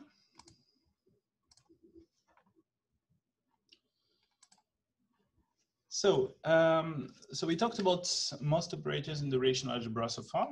Uh, there is one more operator that we need to discuss, which is the join operator. Uh, so the join operator is represented by this uh, bow tie symbol. Uh, and uh, it uh, takes two arguments, so two sub-expressions. So here we have the simple um, the, the simple sub-expression that are the table reservation and table guest. And it takes an argument uh, which uh, indicates what kind of join is performed. So the argument, uh, the formula used uh, in, uh, in the join, can be any Boolean combination of comparisons of attributes on the left-hand side table with attributes on the right-hand side table usually something quite simple like uh, the uh, guest attributes of the reservation table uh, should be equal to the ID attribute of the uh, um, guest uh, uh, table. it can be a combination of this. We could join multiple attributes in this way, etc. so the result of the join is a table that contains uh, tuples, I mean, the contains combination of tuples from both uh, tables. Um, so it acts similarly as a cross product uh, in this sense, but it's not all combinations of tuples from both tables. It's the combination of tuples from both tables that satisfy the join condition, which in this case uh, is that the guest attributes of the um, uh, reservation uh, table should be equal to the ID attribute of the guest table. So if you see what, uh, what the result is here, so we have a table as output uh, with um, first all the attributes from the reservation table, then all the attributes from the guest table. There is a, a technical thing here that's uh, actually we uh, we skipped the attribute that we joined over, but it's it's it's a minor it's a minor thing. We skipped it because we know that it's equal to the guest uh, uh, the attribute of the guest table. And we only keep tuples in the combination uh, where the combination makes sense. Uh, for every reservation, we had a reference to uh, a guest. So for instance, the tuple number two of the reservation table was referring to guest number two. So the uh, tuple number two of the reservation table is completed with information about guest number two from the guest uh, table. And so this is something that we actually very, very often have to do in uh, databases uh, because we uh, enforce the uh, tables, uh, I mean, the information to be stored in uh, individual tables. And it's, it's very common that we need to combine information from several different tables in order to get the results exactly what you want. So as I mentioned earlier, this operator, the join operator, is an operator that uh, is commonly used when you talk about the relational algebra, but it's actually not an operator that is necessary to include within the relational algebra. Uh, it's something that can be rewritten as a, combination of the other operators. So more precisely, the reservation that I've, uh, the, the, sorry, the relational algebra expression that I've written, reservation join on guest equals ID with guest, can be written using a renaming, a cross product, a selection, and a projection. Uh, that's a bit of a complicated writing, uh, but it's it's it's it's uh, it works and it's actually uh, shows that it's never necessary to use the join operator uh, in the um, uh, in in a relational algebra expression.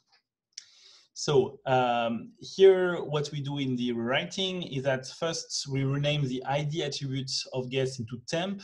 We just do this because there is already an ID attribute into the in the reservation table. And if we were to keep ID, we would have two attributes with the same name, which is something that we disallowed. Then we do the cross product with the reservation. Uh, again, I said earlier that uh, it's a bad idea to do cross products because it's uh, very inefficient. But here we are not talking about efficiency. We are just looking at uh, if the semantics of the query is the same and the semantics of the query will be the same. So in the cross product, there, are, there will be way too many tuples because we are actually computing every combination, not looking at the uh, join condition. But then the join condition is imposed by the selection and then we conclude with a projection just to keep exactly the uh, attributes we want, uh, in particular removing the temp attribute that we had uh, uh, created. So every join like this can be rewritten as a combination of renaming, cross-product, selection, and projection. Uh, it's not an elementary operator of the relational algebra. That being said, so it means that when we reason about what we can do with the relational algebra, it's never necessary to talk about joins. On the other hand, when we actually uh, uh, manipulate data, uh, it's very commonly uh, this, uh, useful to talk about joins because this is a basic operation that you are doing uh, all the time. In terms of efficiency, if we look at this rewriting here, and if we were to implement naively this rewriting, this would be quite bad because again, there is a cross, a cross product and a cross product results in a, in a quadratic algorithm. Uh, in the particular case of, uh, of the join that we wanted to do, uh, let me go, get back to this. Um, there's actually a much nicer way to do this. We can uh, go over the reservation ta table. For every reservation, uh, for every tuple of the reservation table, look up the guest in the, in the uh, guest table. And actually we'll explain later, but there will be a, an efficient way of looking up a guest and then just collating the information. So it's actually uh, some um, process that will not be quadratic uh, to, to evaluate, uh, that will be uh, typically um, uh, complexity of n log n because we will probably need some, some form of log n uh, access to the guest table to extract the data that we, that we want. But as I said before, you never have to care yourself about what is the correct way to write a query. Uh, it's not your job, it's a database management system's job. Uh, so you can very well write the query in a way that resemble the rewriting that I've, uh, uh I've indicated that doesn't mention the word join anywhere. And it will be the, the database system job to determine whether it's more efficient to actually uh, implement it as a join with the algorithm I've just, uh, I've just sketched. so in terms of expressive power, join doesn't bring anything.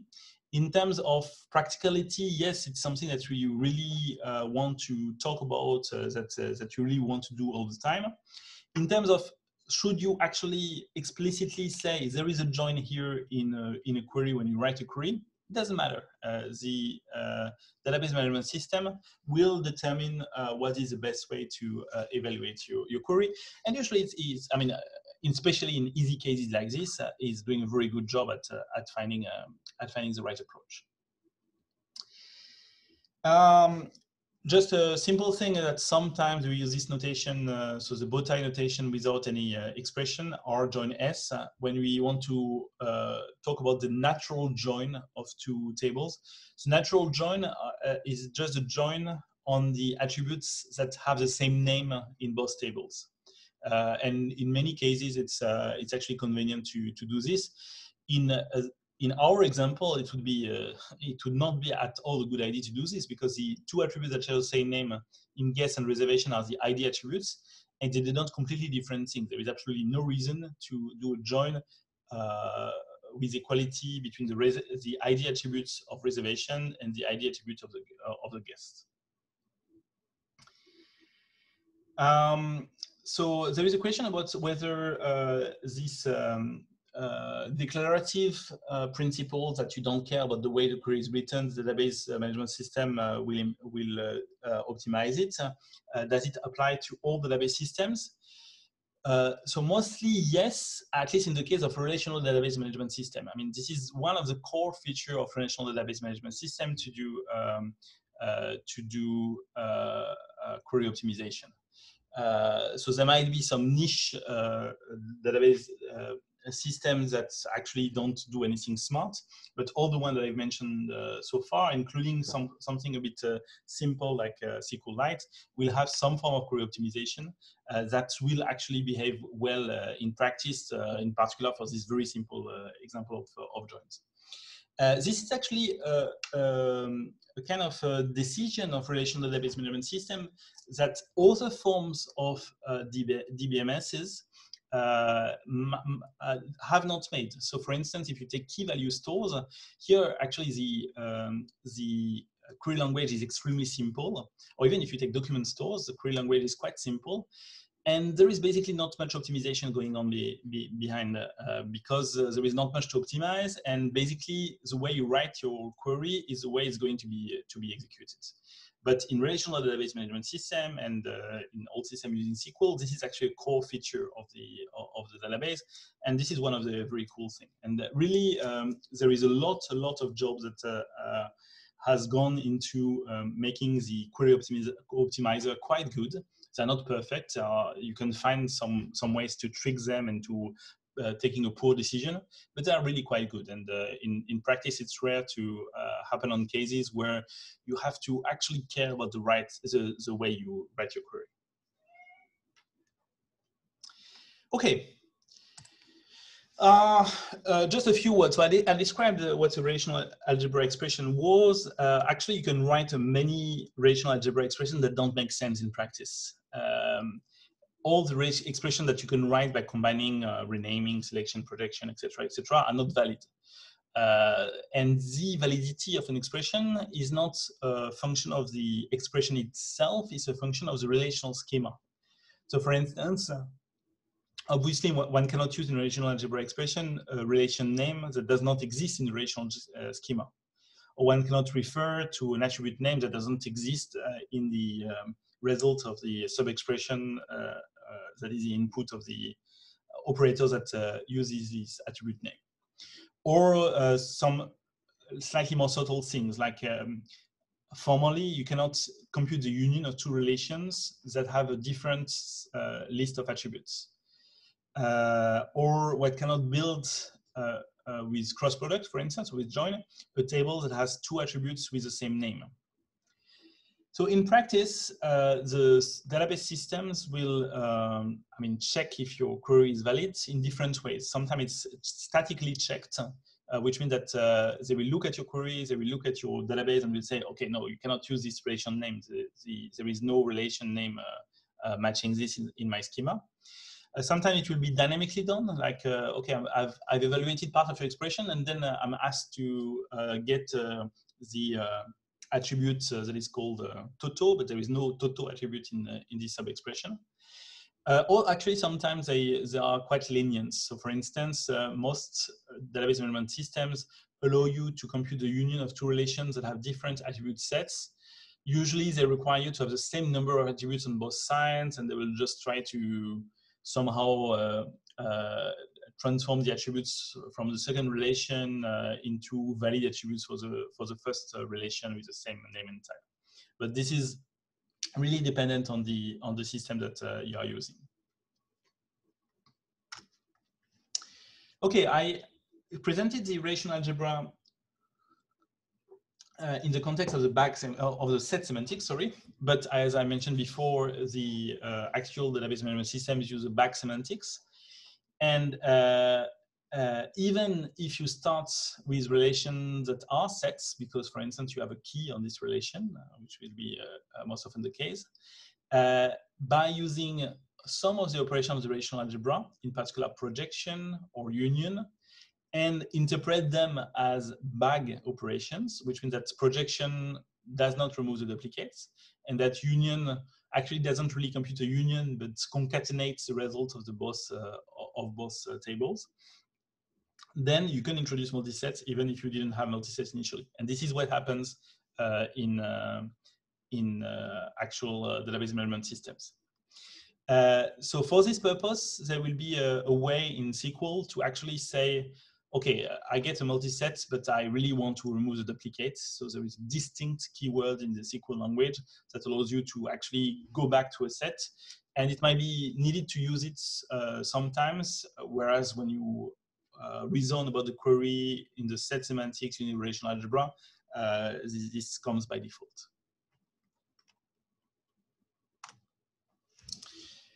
Okay, let me mention an extension of the relational algebra, uh, which includes uh, the possibility of computing other things, uh, in particular aggregation.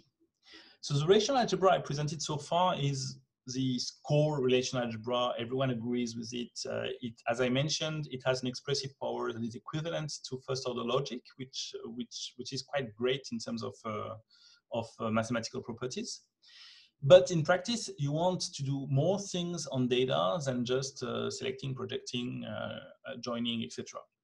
And one thing you definitely want to do on data is aggregating data, which means computing sums, computing averages, computing counts, uh, computing the minimum of the values of a column, etc. All of this is aggregation.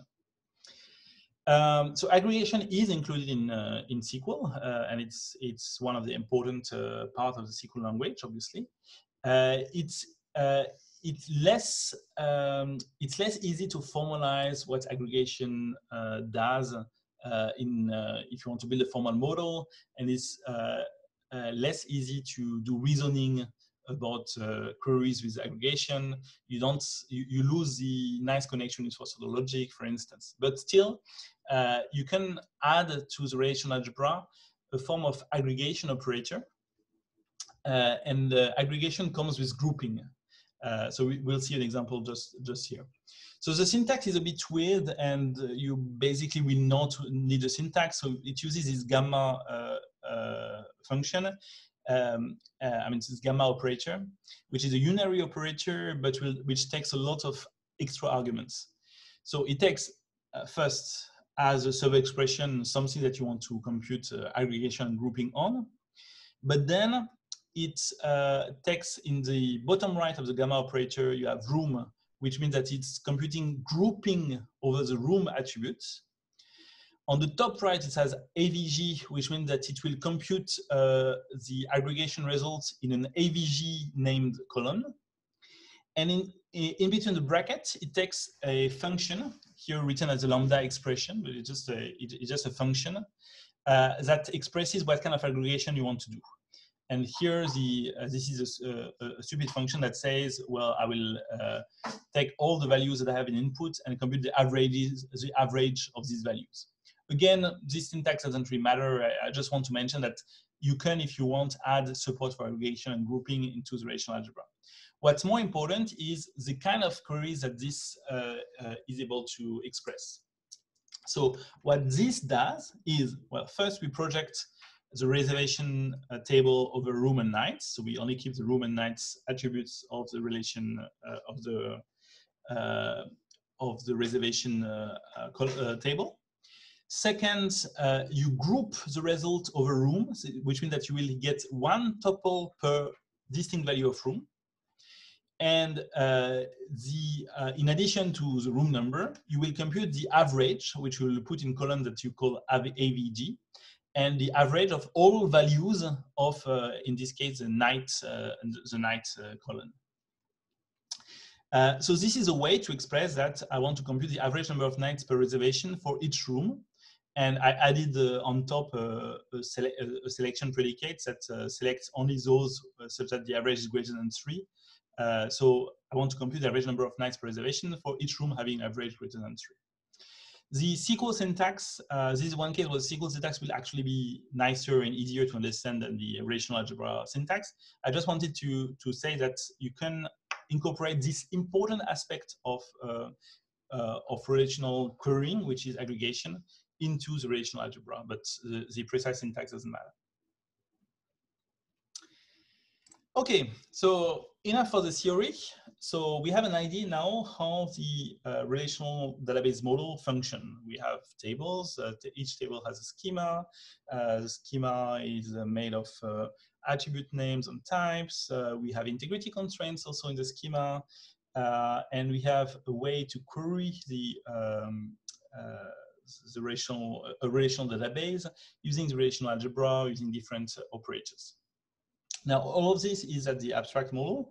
Uh, it's something that is very useful to reason about databases. It's also, also something that is very useful when you implement the database management system uh, to have um, um, uh, a representation that is independent of the low, low level um, uh, of the uh, query language that you use. But in practice, you will not use relational algebra, you will use SQL. Uh, so let's talk about uh, SQL, what it is, and how to use it. And there are two parts of SQL, the DDL and DML, and so we'll, we'll cover both. So SQL is, so again, most people say SQL, you can also say SQL. Uh, so SQL is a structured query language, and it's, the, it's a standard language. It, it is standardized uh, within uh, the international uh, organizations, um, the organization the international organization standards, ISO, uh, uh, uh, is a weird acronym because it doesn't follow the, the order you read it. Uh, so it's it's uh, standard, uh, so which means that you have groups of people from academia, from the industry, who agree on what should be in the programming language, in the sorry in the query language. this is also what happens with most, but not all programming languages. C++ has a standard, for instance. Python doesn't. Python only has a, a, a main or a, a, couple of main implementations.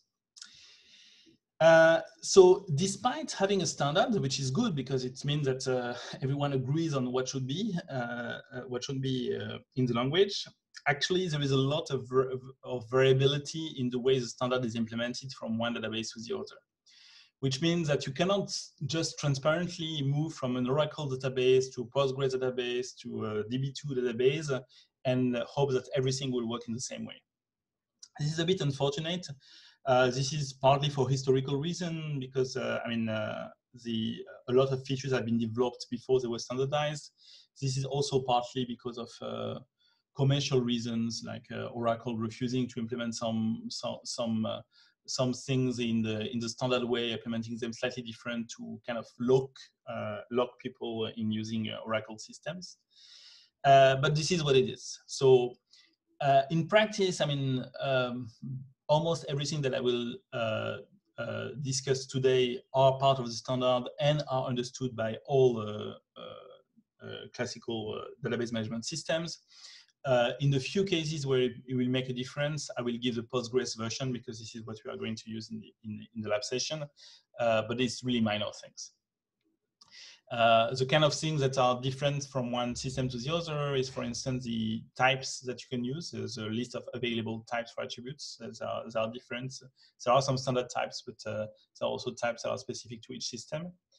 Uh, there are some syntactical uh, uh, differences, like uh, how um, um, the case of uh, attribute names is, is managed by different systems or how to quote attributes. But this is really at the syntax, syntax level rather than at essential definition level. So as I mentioned, there are two parts of the SQL language. Uh, one is called data definition language, and it's basically everything that relates to a schema. One is data manipulation language, and it's everything related to the actual data. So data definition language for the schema, for creating uh, uh, uh, um, a relational schema, for specifying integrity constraints, etc. And data manipulation language to query a database and also to update it, to, to modify it.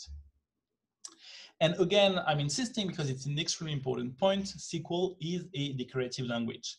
One writes uh, a query anyway, uh, any way one wants, uh, and the system will transform the expression into an equivalent expression that it believes has uh, the, uh, an efficient way of uh, evaluating it. Uh, so it's not the job of the um, programmer, the person who interacts with the database management system, to determine what will be the best way of evaluating query. It will be the database management system job. This is actually quite different from uh, regular programming languages.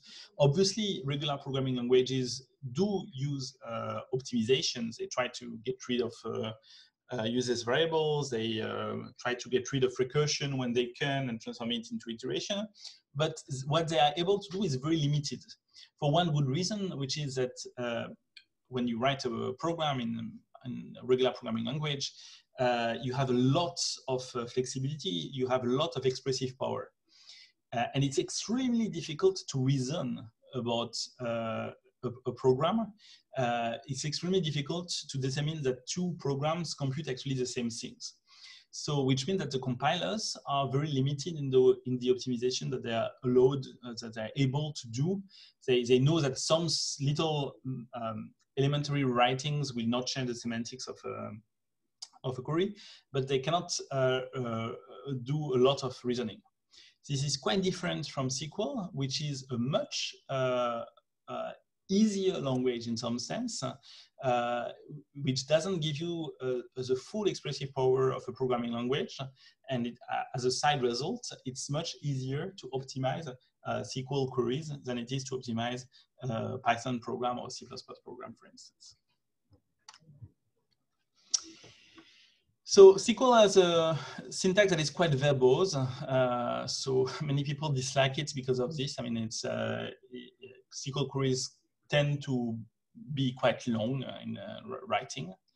The reason it's quite verbose is that the, it was envisioned in the 70s that it would be an, an English-like uh, language. I mean, it's a, it's a, similar to the reason why COBOL was in, invented as a programming language, which uses English keywords they thought that it would be easier to express uh, queries if one used uh, something that looked like a like the English language. Uh, in practice, it's mostly a failure. I mean, it's uh, it's not because the language is verbose and it's easier to understand than if it were more compact. Still, that's what that's what we have. The keywords in SQL are case insensitive. Traditionally, they are written in uppercase, and I'll, I'll try to, to always do that uh, to distinguish with, uh, with, with, the rest of the language. Uh, but uh, so I will talk about the select keyword, for instance. You can write it in lowercase, uppercase, it doesn't matter.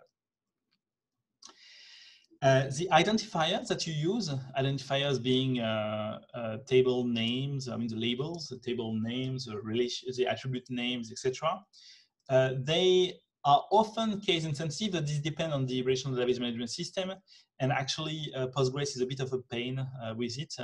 Uh, if you don't pay attention, I mean, it's mo mostly case insensitive, but if you don't pay attention, you can uh, encounter situations where uh, you will not uh, be able to to use easily a, a, column name because you created in a, in an uppercase using a specific software and and it doesn't recognize a, a variant of it. So for um, for the, the lab session, I recommend just to use a lowercase everywhere for the, for the identifiers. It will simplify things. uh, uh, every uh, language has a comment system to introduce comments for the for the programmer. In uh, SQL, uh, it it it's introduced using minus minus. So everything you put after minus minus is considered to be a comment until the end of the line it's a weird choice again. I mean, it's not the, the most uh, common way of denoting comments, but that's what it is. And finally, in most situations, you will need to terminate state, uh, SQL statements by a semicolon, but it's not quite part of the SQL statement. Uh, it's not as in uh, C, for instance, in C, every instruction ends with a semicolon, and it's really a part of the instruction. Uh, it's, it's, just a way of separating statements or saying to the uh, um, uh, Postgres environment, I'm done. I don't have anything else to, uh, I don't have anything else to write. Uh, so in particular, when you connect to a SQL database using uh, Python, you will not need to do the semicolon because you will have another way to do, I'm done, this is my query, I don't need anything else. But when you interact directly using the command line client of, um, of the database management system, you will need to put a semicolon at the end of each statement. I have to talk about a specific weird thing in uh, SQL, which is null. So null is a special value uh, that uh, you can use uh, for any type, any type um, of value in, uh, in SQL can, in addition, allow a specific value, which is a null value. And null, uh, I mean, the, the meaning of null is to denote the absence of a value. So for instance, you have a data set with uh, recorded, uh, I don't know, recorded temperatures and you will use null to say, well, I don't have the temperature for that day, uh, maybe because uh, the sensor was uh, was broken or whatever. Um, and it's it's really a specific value, which means that null is not the same as zero if you have an integer type. Non, null is not the same as the empty string if you have a if you have a, a character string type, etc. So until here, it's not bad. It's it's actually quite useful to have a way to denote the absence of a value, a value that is missing, uh, a value that is unknown, uh, these kind of things. Uh, what becomes weird is the semantics that um, SQL gives to um, nulls. So uh, you are aware that when you use uh, any form of, uh, of programming, we are using uh, bi-valued logic, binary logic, which is everything is either true or false.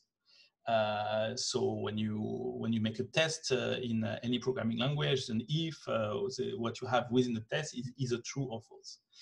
Uh, and when you combine conditions, every condition is either true or false. Well, SQL has made the weird choice of using a tri-valued logic, which is that everything is either true, false, or null. And null is something that, that sticks. Null is something that contaminates everything, which means that every time that you start comparing a null value with anything else, the result is null.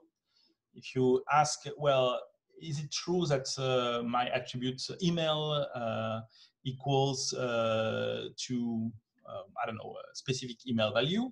If the attribute email happens to be null, the result will be null uh, if you ask if is it is it false that uh, my email uh, uh, uh, is a specific value, the result if the email is null is null. and so this is a, very weird um, situation. So obviously, since we can we cannot use a regular comparison operator to determine something is null, there are other operators in a SQL, there is is null or is not null that can be used to test is, if a value is or is not uh, null.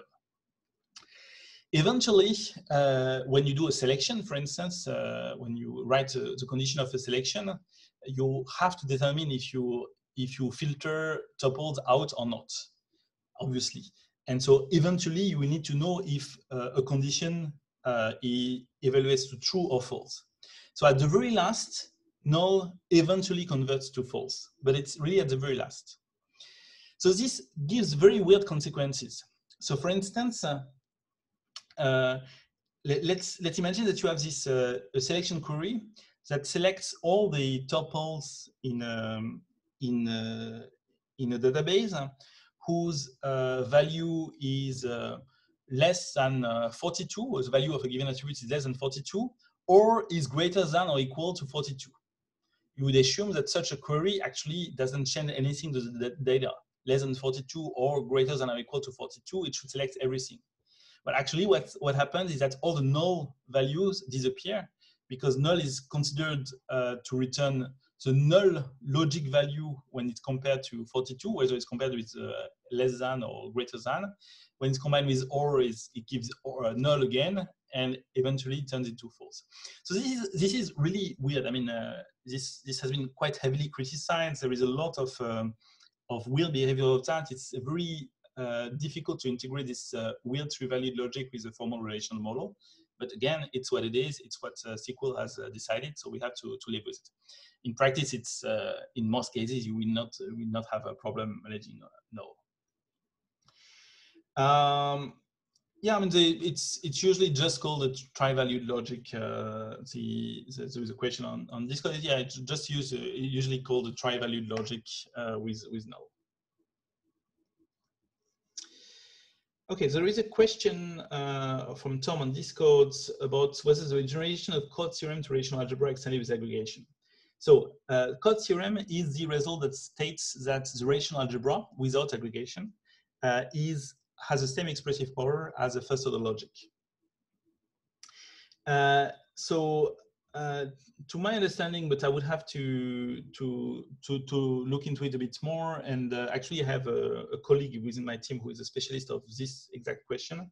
There is not a nice characterization within logic of the um, uh, of uh, the expressive power that is given by relational algebra plus aggregation. And it's usually quite messy to manipulate logics that that do uh, that do aggregation. There are other translations of Codd theorem, uh, but not with aggregation. Um, one thing that I have not mentioned is that one thing that you cannot do with relational algebra is do something like recursive. For instance, if you want, if you have a graph data, and if you want to uh, navigate through the graph and get uh, all the uh, nodes in the graph that you can reach from a given node, uh, then this cannot be expressed with the relational algebra because you need to explore paths of unbounded uh, size. This can be explored with extensions of the relational algebra um, to uh, with, uh, use, using uh, using while operators uh, to relational algebra.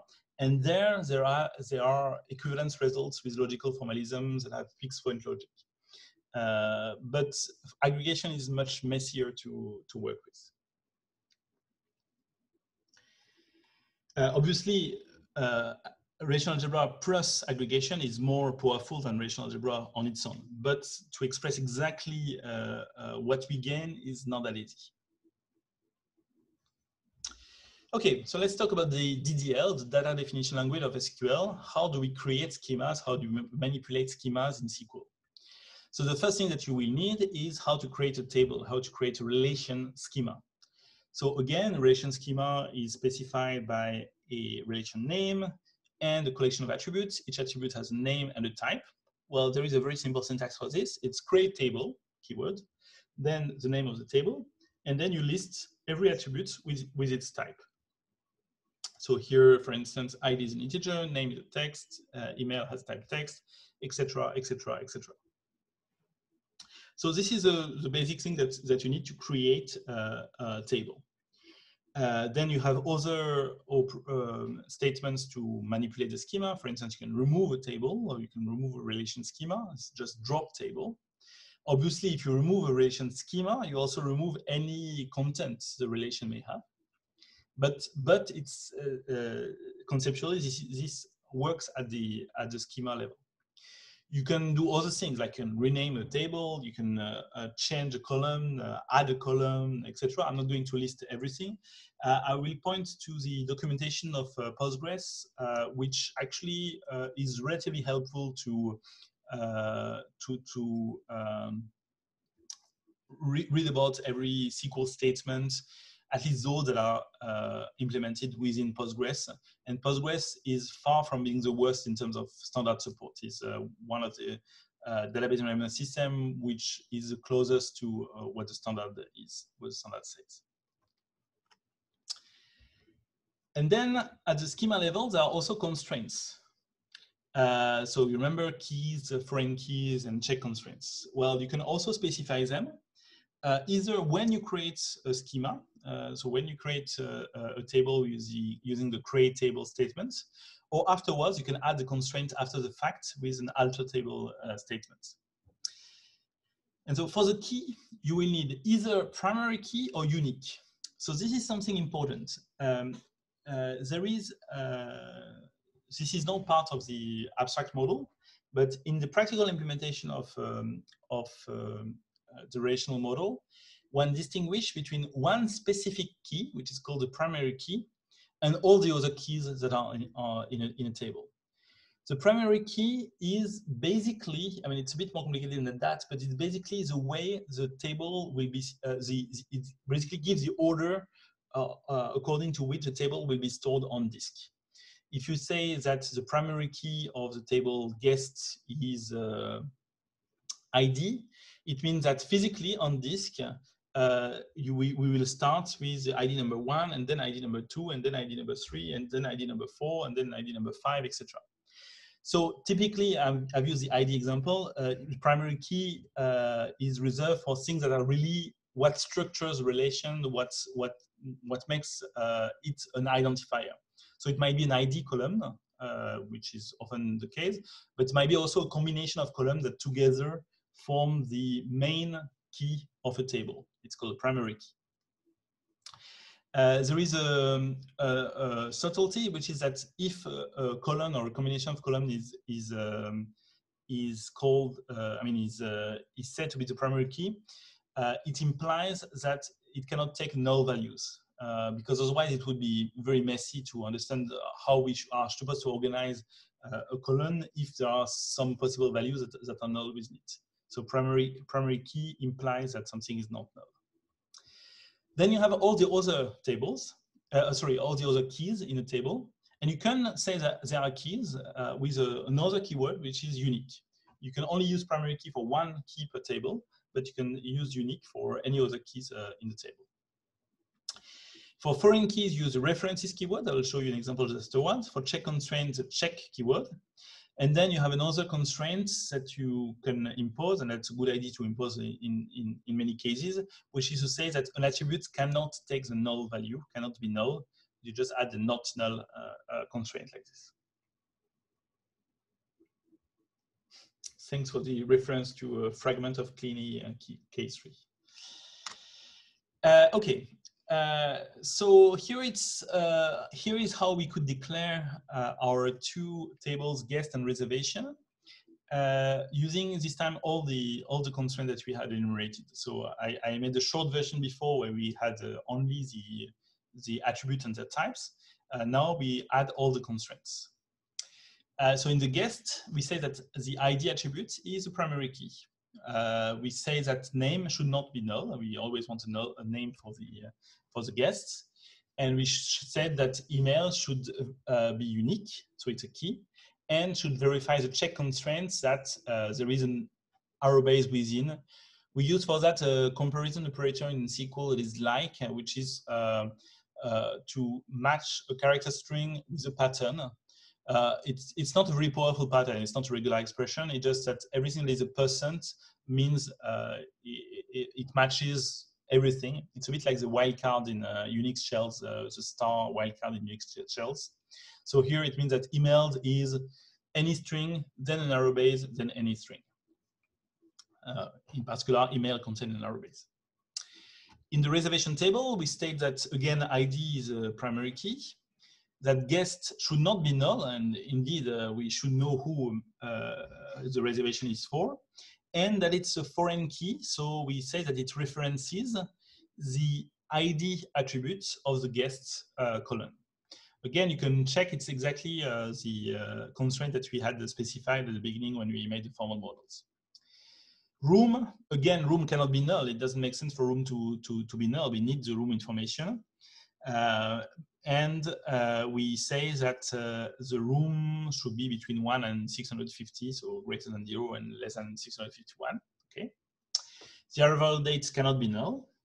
The number of nights cannot be null, and we add a check constraint that says that um, uh, the number of nights has to be greater than 0. So it cannot be 0 and it cannot be negative, obviously. And finally, um, we add two keys, two uh, composite keys. Uh, one uh, about the combination of room and arrival, which means that together room and arrival is a key. You can have several arrival, on, several reservation on the same arrival date in the same room. And also the other key that we mentioned might be a good idea to impose, uh, but we, we're not completely sure, uh, which is that uh, we can only have one guest arriving, uh, sorry, we cannot only have one reservation for a given guest uh, arriving on a given date, uh, which is the second composite key that we have indicated. So if a key is elementary, we can just add a primary key or unique after its type. If a key is composite, we write it after the declaration of uh, everything else. We add a unique or primary key, and then uh, uh, we specify everything. Uh, same for the check constraint. If you have a check constraint that uh, refers to several different attributes, we can add it at the, at the end of the declaration. So it's quite a good idea, again, to add as many constraints as we can because it uh, allows us to uh, make sure that there will never be an update in the database that will uh, violate these basic, these basic constraints, that we never accidentally forget to, to, to put who the guest was in a reservation, or that we never accidentally put a, put a negative number of nights in, in, in a reservation everything that you can enforce this way it's it's a very basic layer of, uh, of protection and it's a good idea to, to do it. I want to, to uh, talk about something else, which is a link between uh, keys and uh, efficiency. Whenever you declare a key, whereas uh, it, it, can be with a primary key or it can be with a unique statement, uh, the database management system will automatically create an index for the key. Uh, if it's a primary key, it's a primary index. If it's a unique, it's a secondary index, but this is a technical detail, it doesn't really matter. Uh, and what this means in practice is that if you have declared something to be a primary key, it will be very fast, or, or unique colon, it will be very fast to uh, look for information in the table uh, if you know the value for this attribute. If you will be very quick to do a selection, where the selection uh, uh, formula refers to this particular uh, attribute. Uh, you can also create indexes uh, without specifying that something is a key or primary key. And in some cases, it makes sense. You want to create an index on a, on, a column, and this column is not unique. Uh, I haven't shown the syntax for it. It's, there is a create index statement. you can look it up in the documentation. Uh, in practice, it's not that commonly needed. What is much more commonly needed is to be careful to specify uh, cleanly all the primary keys and unique columns, and this will give you indexes and efficiency uh, for free. Not quite for free because uh, building the index will take some time, but uh, you will not have to specify it uh, manually. Okay, so this is it for the uh, data definition language. So how to specify the schema of your database, specify the table, their attributes, their types, and the constraints. Also, how to, to remove relation schema, uh, how to alter relation schema, etc. Again, the details are, uh, for instance, can be found, for instance, the Postgres documentation. Let's look now at the data manipulation language, which is the querying and updating part of uh, SQL. Let's start with updates. Um, so obviously you need a mechanism to be able to add data to a table. And there is a, a, statement in SQL for this, which is insert. So the syntax is insert into, it's always these two keywords together. Then the name of the table.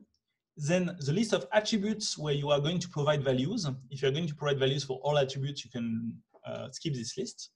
Then the keyword values. And then the list of values that you put, uh, that you put there. So in this particular case, insert into guest ID name values 5 John, we have not specified anything for the uh, third attribute, which is the email attribute, uh, which was not specified to be not null. Uh, I'm just checking. So it means that the email attributes will be filled with null because we have not specified a, a, a value, uh, a value for it.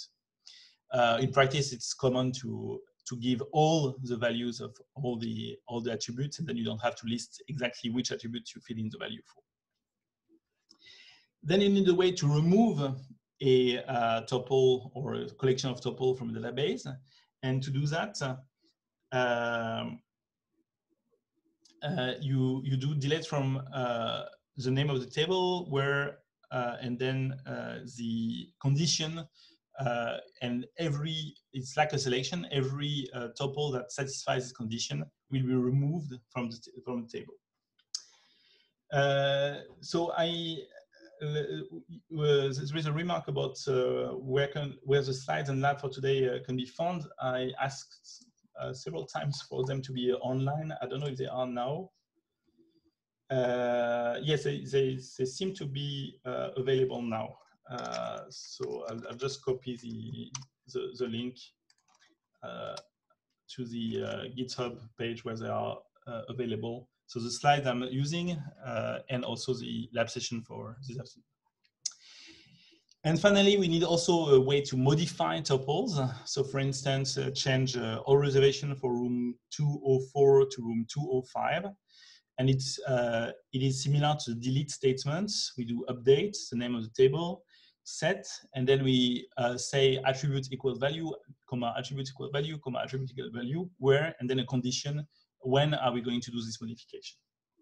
I'm not going to insist a lot on uh, updates because probably you will not need them in the lab session and it's actually fairly, fairly simple.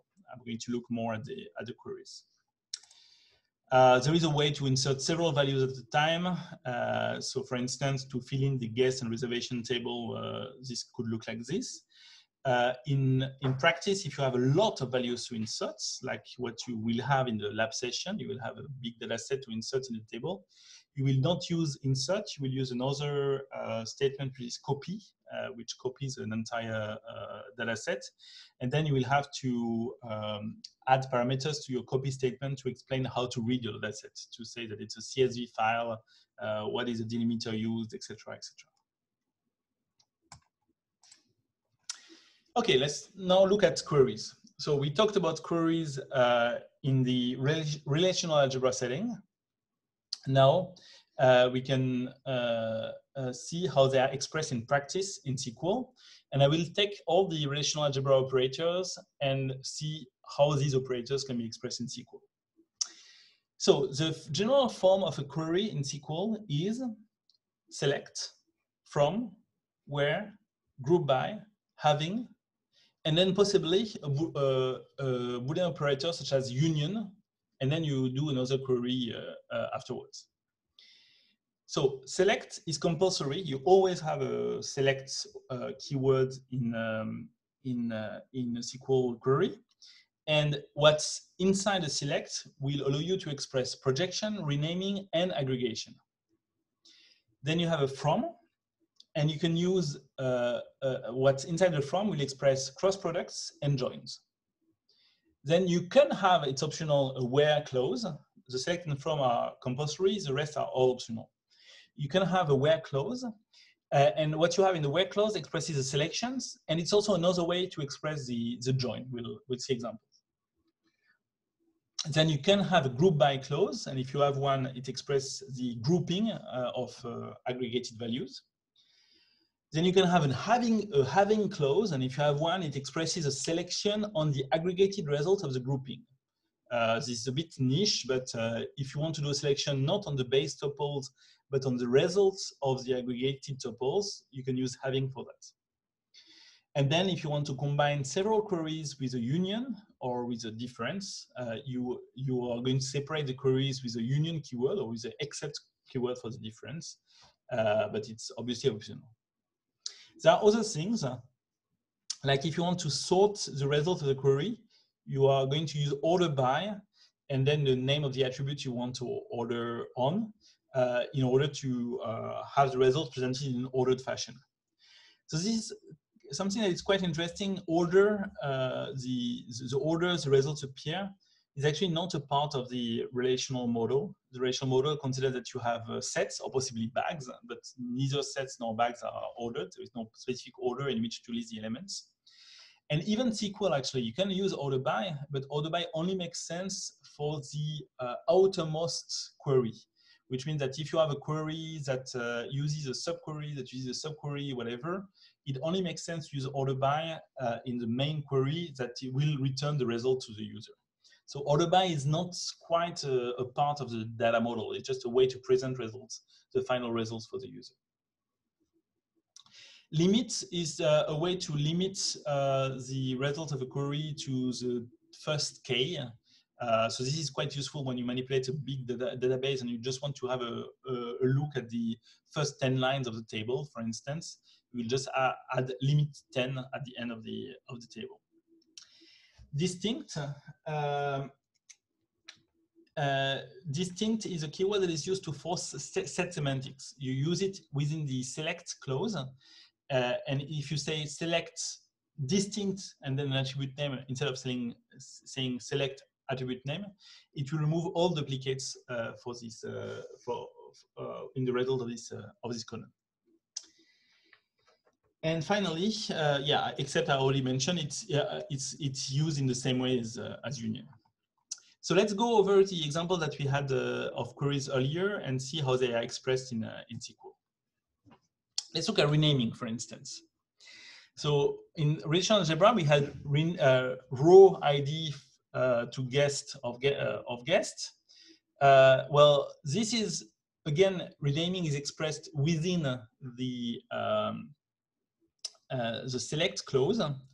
And so in the select clause, you are going to list all the attributes that you want in your results table. And if you want to rename an attribute, you just write as. So select ID as guest, this is the renaming, and then name and email because you want to keep name and email as this. And in the from table, you say where from, in, in which, which uh, in, in, the from clause, you, you, you say from which clause, uh, from which relation uh, you are doing the renaming. Okay, so this is quite simple. Projection. Uh, so for projection, you are going to use a select clause again. The select clause lists all the attributes that you want to project on. So select email ID from guest. In this particular case, if you want to simulate the set semantics, because we said that uh, we, we, we, saw the uh, relational algebra with the set semantics, instead of writing just select, we are going to add select distinct uh, in order to get rid of possible duplicates when we, when we do a projection.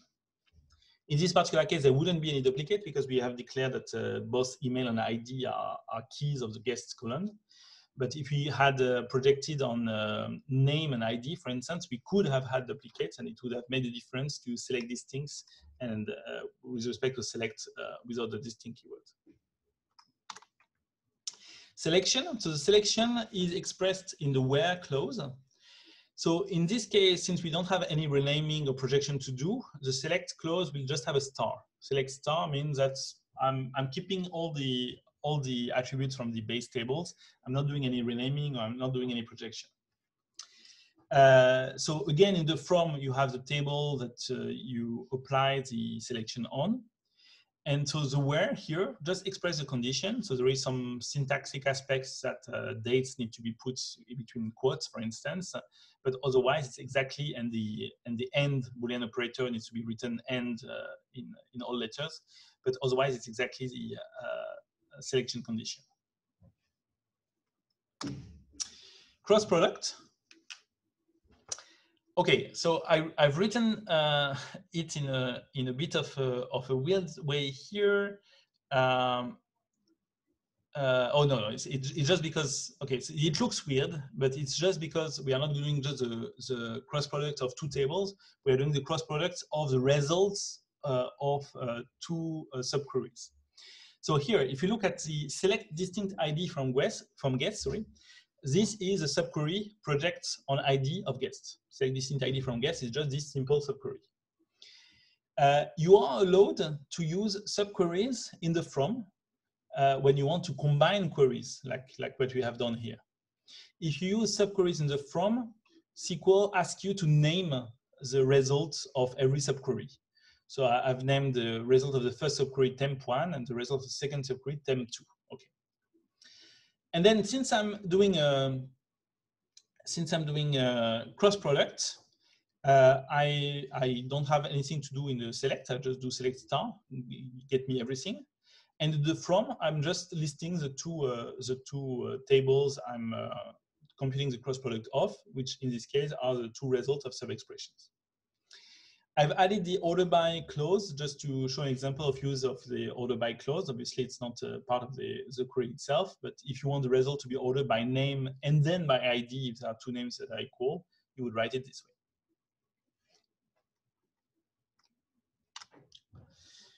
Let's look at the union. Uh, so the union is quite simple. You have the two sub-expressions. And so the two sub-expressions are projection on the selection uh, on the selection on, on the reservation table. So you are expressing the projection in selects, the selection in the where, and uh, you give the name of the table in reservation. So it's very simple. Uh, you do that for both uh, for both queries, and then you write union between the two. set difference, I mean, relational difference is exactly the same. I'm just comparing both union with the union keyword, uh, difference with the except keyword, no difference. In practice, uh, there are other ways to express difference, and sometimes they're a bit more convenient than explicitly writing except. Um, there is a, not in operator that you can use in the where clause, for instance, where you can say that uh, some attribute value is not in the result of a sub-expression. It's, it's actually an alternative way of expressing a difference. And now, the, now let's look at the join. Uh, yeah, so uh, it's a good question. The union by default in SQL, which is a bit uh, actually weird because it's uh, it, SQL by default has a multi-set semantics, but the union operator and the except operator all filter redundant, uh, all filter duplicate results uh, union and except and, and uh, there is also intersect uh, in SQL, all have a set semantics, even though SQL uh, at large as a multi-set semantics. There is a variant of union and except and intersection, uh, which is union all, union space all. This is a different operator that this time will not remove duplicates. but in most practical scenarios, you want to use union and not union all. Okay, let's look at the join. Uh, I'm looking at the uh, join of the two tables, reservation and guests. Joining on the attribute guest of reservation should be equal to attribute ID of guest. So there are two main ways of expressing a join. One way is to explicitly write the join in the from clause.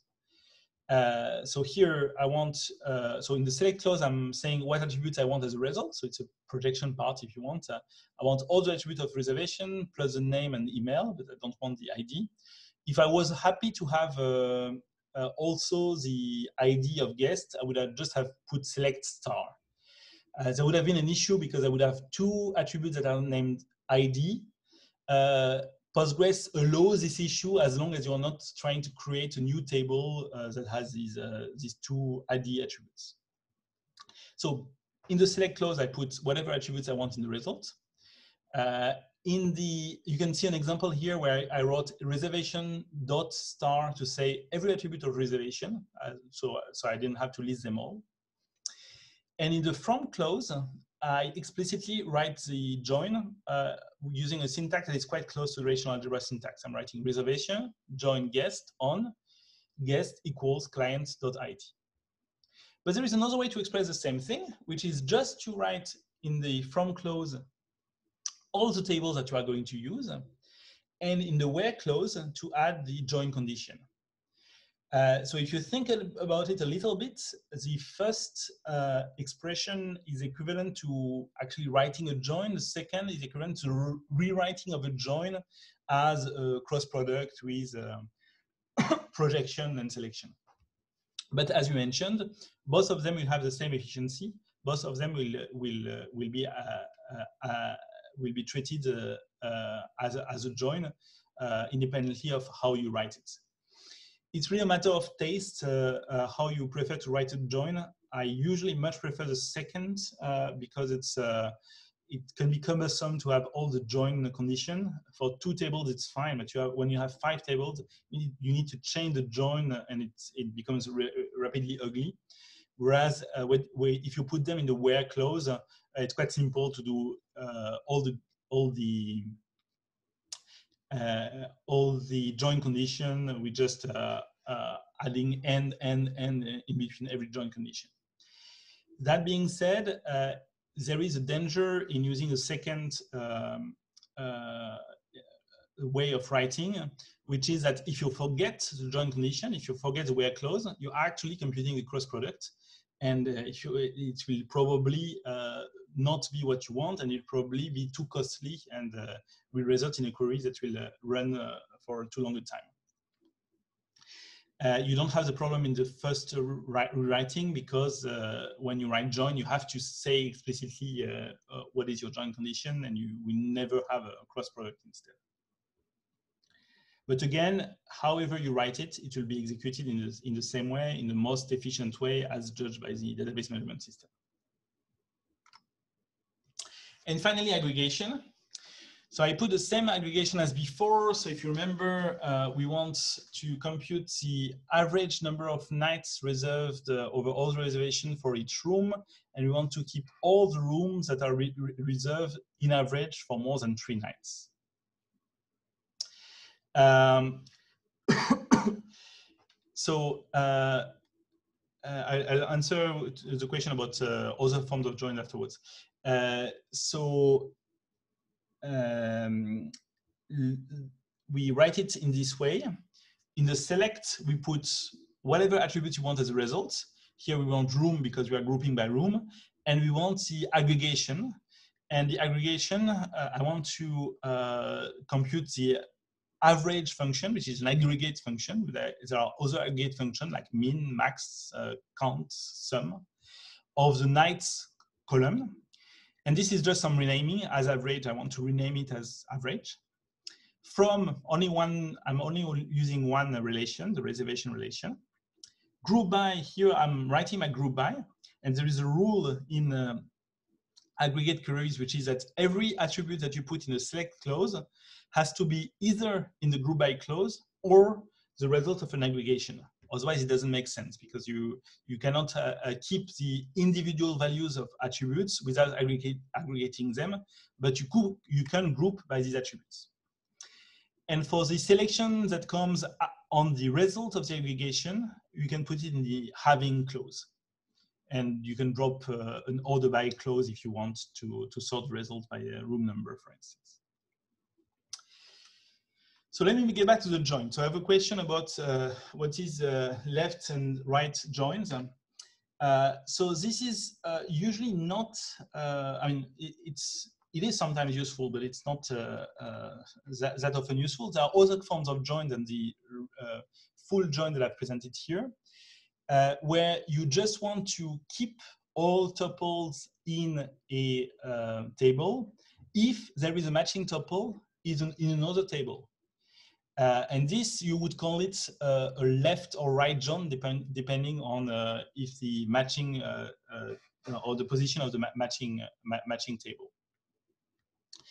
so in some situation, this left or right joins, which is not computing the full join results, but just keeping the tuples if they have a matching result in another, in another table, makes sense and are useful. But you can you, you, you can look for examples online. I've, I've not included examples of that. Okay, and that's basically it for a high level view of SQL. So again, whenever you have to write a SQL query, you will have to have a query of the form select from, maybe a where, maybe a group by if you have aggregation, maybe having if you have a, a, a selection on the results the group by, maybe an order by, maybe a limit, etc. But you always start with a select and from. And it's, it's fairly natural where to put all the operators. You can refer to, to, to all the examples. So you should have everything you need for uh, uh, this afternoon's lab. I will talk briefly about uh, how the lab is going to, to proceed uh, uh, at the end.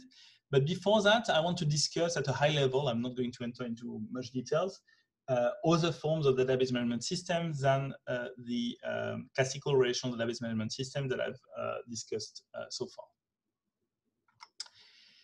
So classical relational database management systems have quite a number of strengths. Uh, they are very good at some things.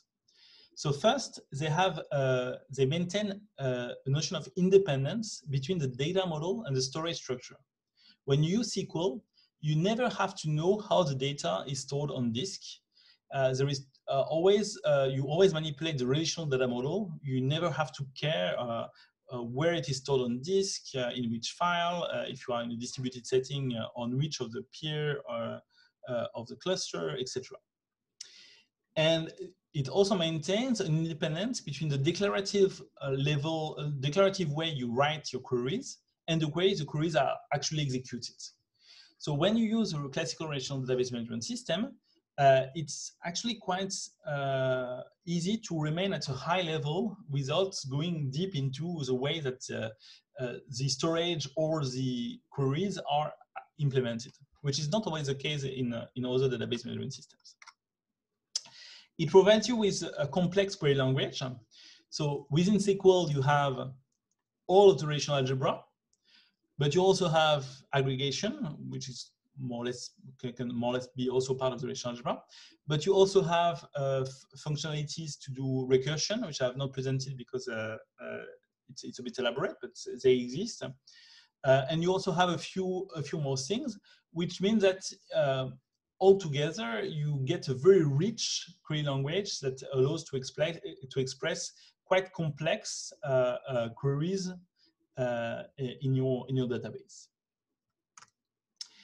Uh, relational DBMSs are quite good at query optimization.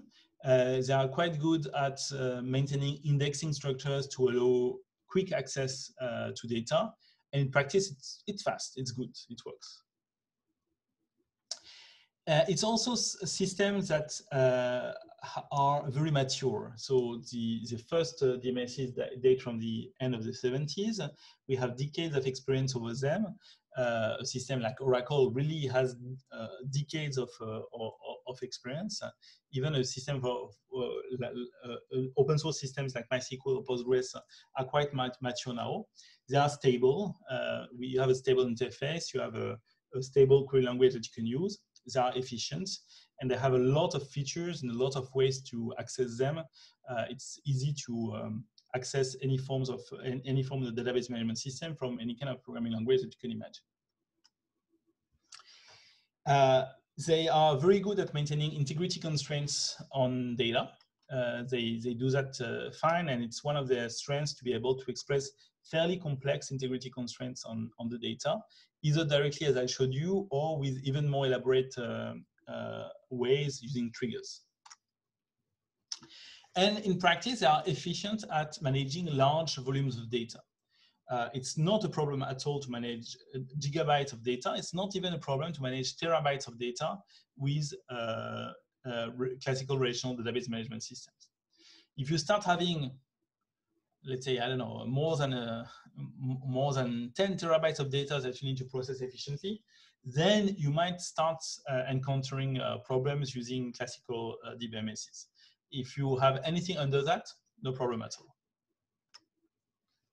And then there is something that I haven't talked about much, but it's quite important, which is the transaction system of the uh, uh, database management system, which is uh, a notion that you have um, when, when you're doing accesses to the database, uh, accesses are um, regrouped into transactions, which are set of elementary operations uh, that allows to properly manage uh, concurrency between different users accessing the database at the same time. Use, so user isolation in particular to make sure that, uh, that the that a user uh, in progress transaction doesn't have an impact on another user. And also error recovery uh, are also used to manage what happens if there is a, a power failure. More precisely, uh, classical DBMSs uh, have transactions that have properties that are called ACIDs uh, for uh, these four um, properties. A is for atomicity, which means that whenever you issue a transaction, so a sequence of operations, either the entire sequence of operation is executed as one operation, as a block, or it's cancelled. But you cannot have part of the operation that are executed and part that are not executed.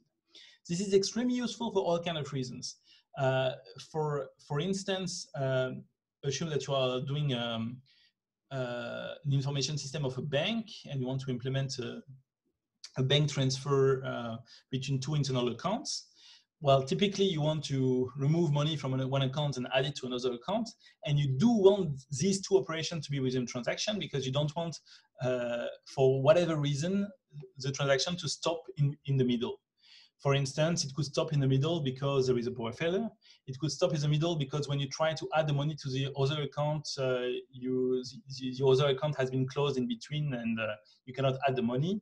Or for any kind of reasons, the database system guarantees that uh, what happens within a transaction is either executed all together or not at all. So this is actually a complex, uh, uh, a complex uh, functionality in order to do that, you need uh, to uh, to do some to, to keep track of everything that you do to be able to cancel what you have done if if a transaction is cancelled, for instance. but this is an extremely useful feature as well. Consistency of ACID means that um, uh, the transaction will respect the integrity constraint of the database. You will uh, be guaranteed that at every point your database remain in a consistent. In a consistent state. Isolation, meaning that two users accessing the database concurrently uh, will, uh, uh, so they start transaction at the same time, where everything happens as if one transaction was done before the other, uh, as done uh, uh, as if the execution of the transaction were made one after the other, which means that a user cannot be affected by the partial results of the transaction of another user. And this is very important. And finally, the D of ACID means durability, which means that once a transaction has been confirmed, we say it has been committed, the data remains durably stored in the hardware and it remains there. There is a guarantee that uh, the data is there, even in case of, uh, of failure.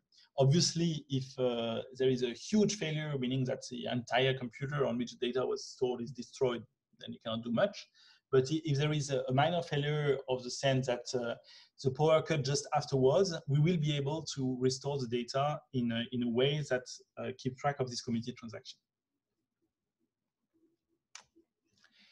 So these are for the strength of the classical DBMSs. Now they, are, they have weaknesses also. The first one I've already mentioned is that if you want to manage very extremely large volume of data of the order of uh, petabytes, then uh, so an order of magnitude larger than terabytes, uh, then you encounter problem if you if you try to do this with uh, regular databases. Uh, it's not completely impossible. So, for instance, uh, uh, the Facebook initially, what they what they had done to store the data. I mean, Facebook was not very well programmed in some sense. they used MySQL initially for storing the data, and obviously, at some point, uh, the, they couldn't just use one uh, uh, MySQL database because the, the, volume of the data they had to store was too much. what they did is that they just split the users according to whatever their ID or their name or whatever, and just, just use different uh, databases installed on different machines, on different clusters of machines, uh, to store uh, part of the database. Uh, so this is the way to do it, but it means that you don't have a, a global view of the entire database. You need to know which uh, uh, sub-database to contact, etc. So this is not a very scalable way, and nowadays Facebook doesn't uh, doesn't do this anymore. Uh, but not everyone is not everyone is Facebook or not everyone is Google. Not everyone has petabytes of data to store. So if you don't have petabytes of data to store, uh, if you don't have uh, more than I don't know a dozen terabytes to store, uh, you don't need to worry too much about uh, classical DBMS being able to um, store your data.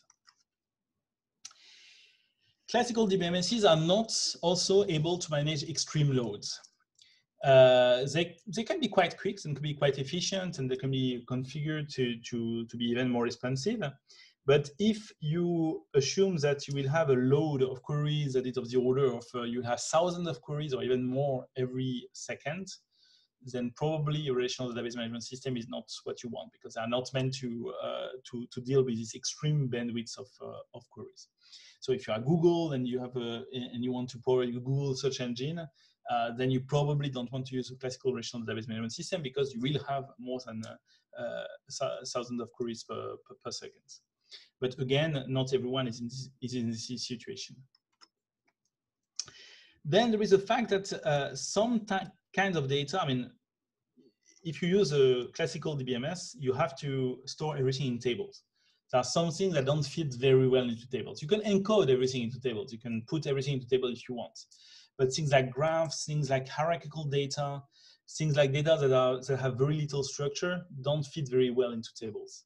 And so if you put them in a relational database management system, maybe you don't get to exploit all the features of the database management system because the data is, is, is not structured in a, in a way that is compatible.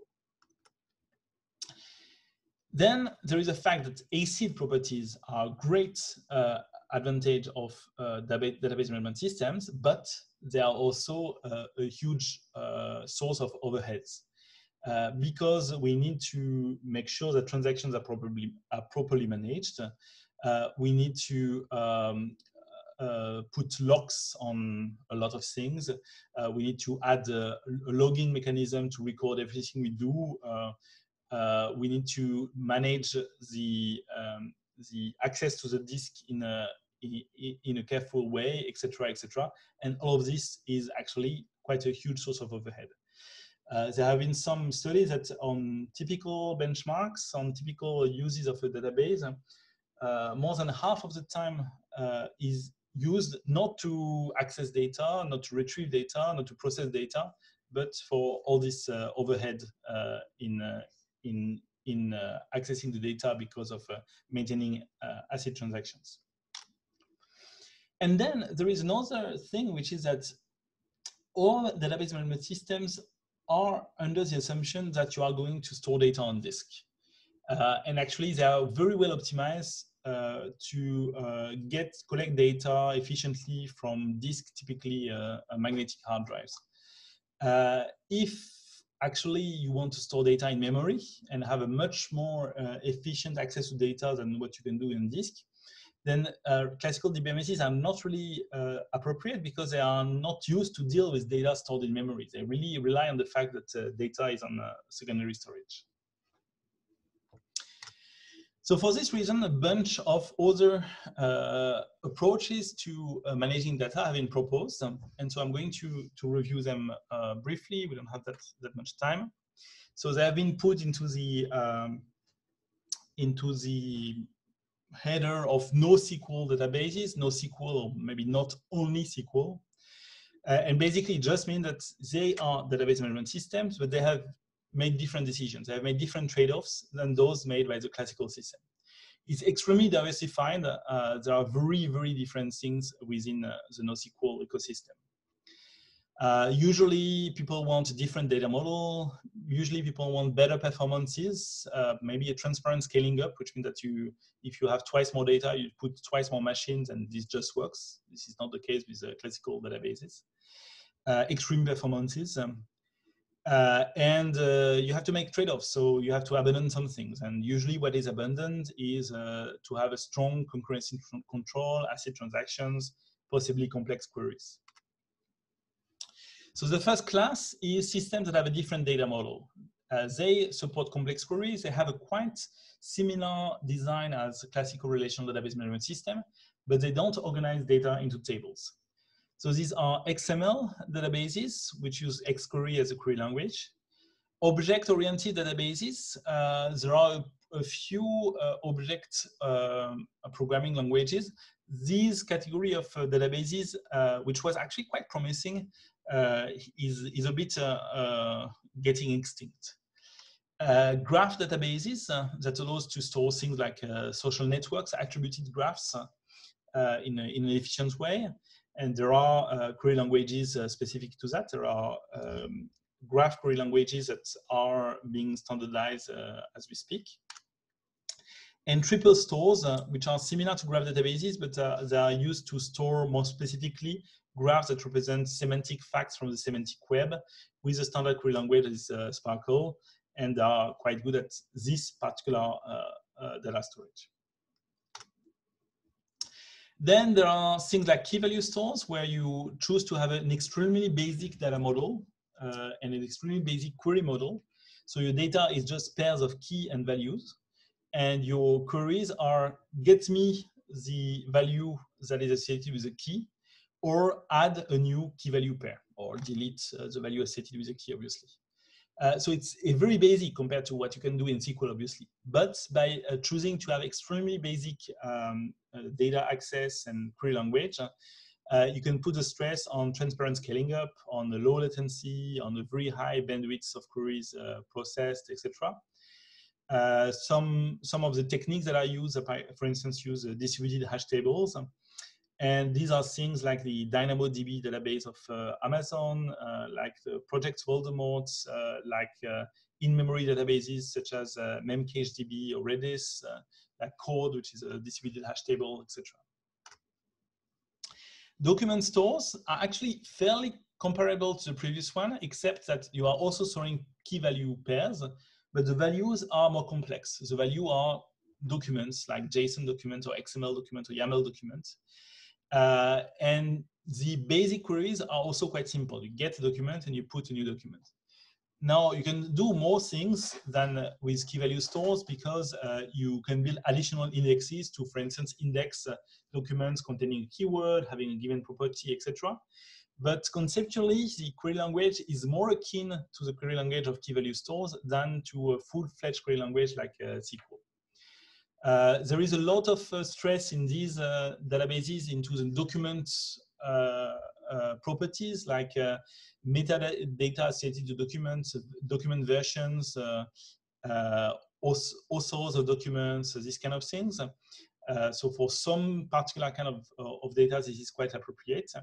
And there's also a lot of effort that's put on interface simplicity, ease of handling in a programming language, actually more than on the on, on the performance. So this is example of MongoDB or CouchDB. Column stores, uh, so the basic idea of column stores is that instead of storing data row after row, you store it column after column. Uh, this doesn't seem to be a big change, but uh, it actually is. Uh, it provides for a richer organization than key value stores, but usually for less strong query language than, than SQL.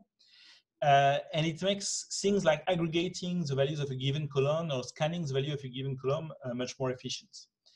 Uh, some of them are, um, uh, are oriented towards uh, large scaling uh, to thousands of machines. Some of them are more orient oriented to local storage of data. Bigtable or its HBase clone are example of this. Uh, and so they provide a number of features that are a bit intermediary between key value stores and uh, full-fledged uh, uh, relational database management systems. And then there is another keyword, which is another buzzword, which is NewSQL, uh, which is uh, some have been introduced a bit more recently, where people have realized that okay, all these new NoSQL systems are great, but uh, we still want to do SQL. We still want to have a rich query language. We still want to have ACID properties. But we want to do better. We want to have higher performances at classical DBMSs. So how can we do that? Well, basically by, again, making different technical choices in classical uh, DBMSs, try to get rid of locks, logging, cache management by using other algorithms, other algorithms that, uh, that are maybe more efficient, but also have, uh, uh for instance, a higher memory footprint, memory footprint. Uh, maybe by putting all the data in main memory with a secondary asynchronous copies on disk, but accessing the data directly from memory instead of accessing them from, from disk. So having uh, things like um, lock-free uh, concurrent management, like multiversion concurrency control, uh, all kind of technical things. The idea is to try and keep the what we can of classical systems, but have higher performances uh, by making, again, different compromises. Uh, these systems, for instance, may use a lot more, more uh, main memory than the systems that, uh, of um, than the classical relational database management systems. So as a kind of conclusion, when, when should you go for these NoSQL or NewSQL systems or, and when should you stick to the proven classical relational database management system? Well, if you have extreme bandwidth or latency requirements, latency meaning the, the time needed between you issue your request and you, the time you get your answer, uh, so if they are extreme, if you need an answer uh, in less than a millisecond, if you, if you need to, uh, to process uh, tens of thousands of queries per second, then probably you need something else than uh, Postgres or Oracle. If you have extreme data volumes, again, probably you need something else. if the relational model really poorly suits what you are going to store, maybe it doesn't make sense to um, to force your model into in, in to, to force your data into the relational model. When you have tested, you have tried to use the classical database management systems, and they are uh, they are they have insufficient performance. But you have to know what you lose depending on what you choose instead. You lose ACID transactions, you lose the possibility of complex querying, uh, you lose the stability also of well-established software, which is uh, something not not negligible. Uh, so just I just want to uh, say say that there are real need for NoSQL and NewSQL databases, but this need is over over uh, is often overestimated. I mean, it's it's often uh, chosen as a as a basic choice. Uh, let's go. Let, us implement this with MongoDB. Uh, when this actually might not be the the, the right uh, tool for for the job. Okay, um, in the in this last slide, so you can find the slide on the on the course website. Uh, I I put a few references if you want to go further. Uh, the, the first reference is um, some generality of data management research. If you want to understand what is research in, in data management. Uh, so there is a, a, book chapter in English and, uh, and uh, a booklet in, in French that tries to explain what is this field, what is this area, why is it an interesting area.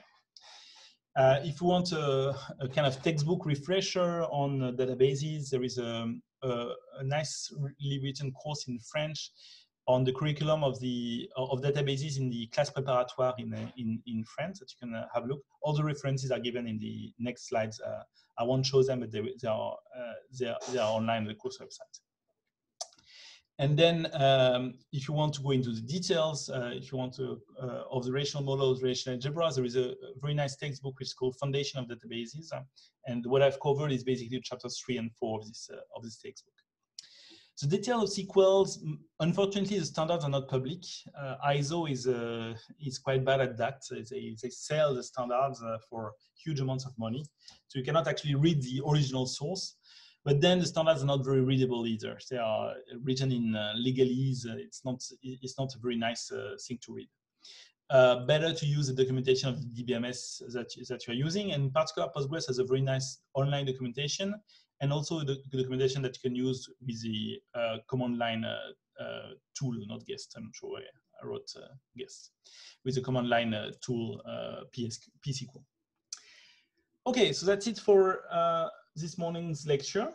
Uh, just a few words about uh, this afternoon. So we are uh, resuming with the lab session at 2 p.m. if I'm not if I'm not mistaken.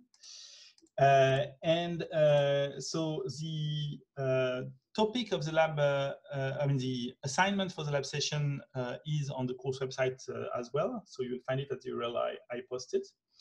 Uh, there is a section on it, uh, prerequisites. Uh, if you have a bit of time before 2 p.m., it's good if you can do the prerequisites just to install pSQL, which is a, a Postgres client, and uh, to install two Python packages, which are uh, psycopg2 and uh, and and uh, SciPy if you don't have a SciPy yet, uh, which will be useful to to gain some time. Otherwise, we'll do it at the beginning of the of the course.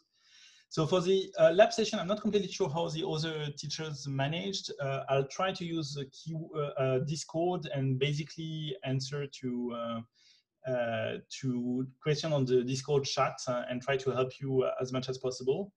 Uh, if uh, if needed, I'm, i might activate the uh, I, I, might add a voice chat in Discord to to explain some things, but we'll we'll try to do everything within the chat room. Um, yeah, so there is a, a, a, last question that classical DBMSs have been incorporating many of the tools from NoSQL and the like. Uh, it's, it's true, many of the things uh, that have been proposed by, uh, by uh, NoSQL systems have been added one way or another.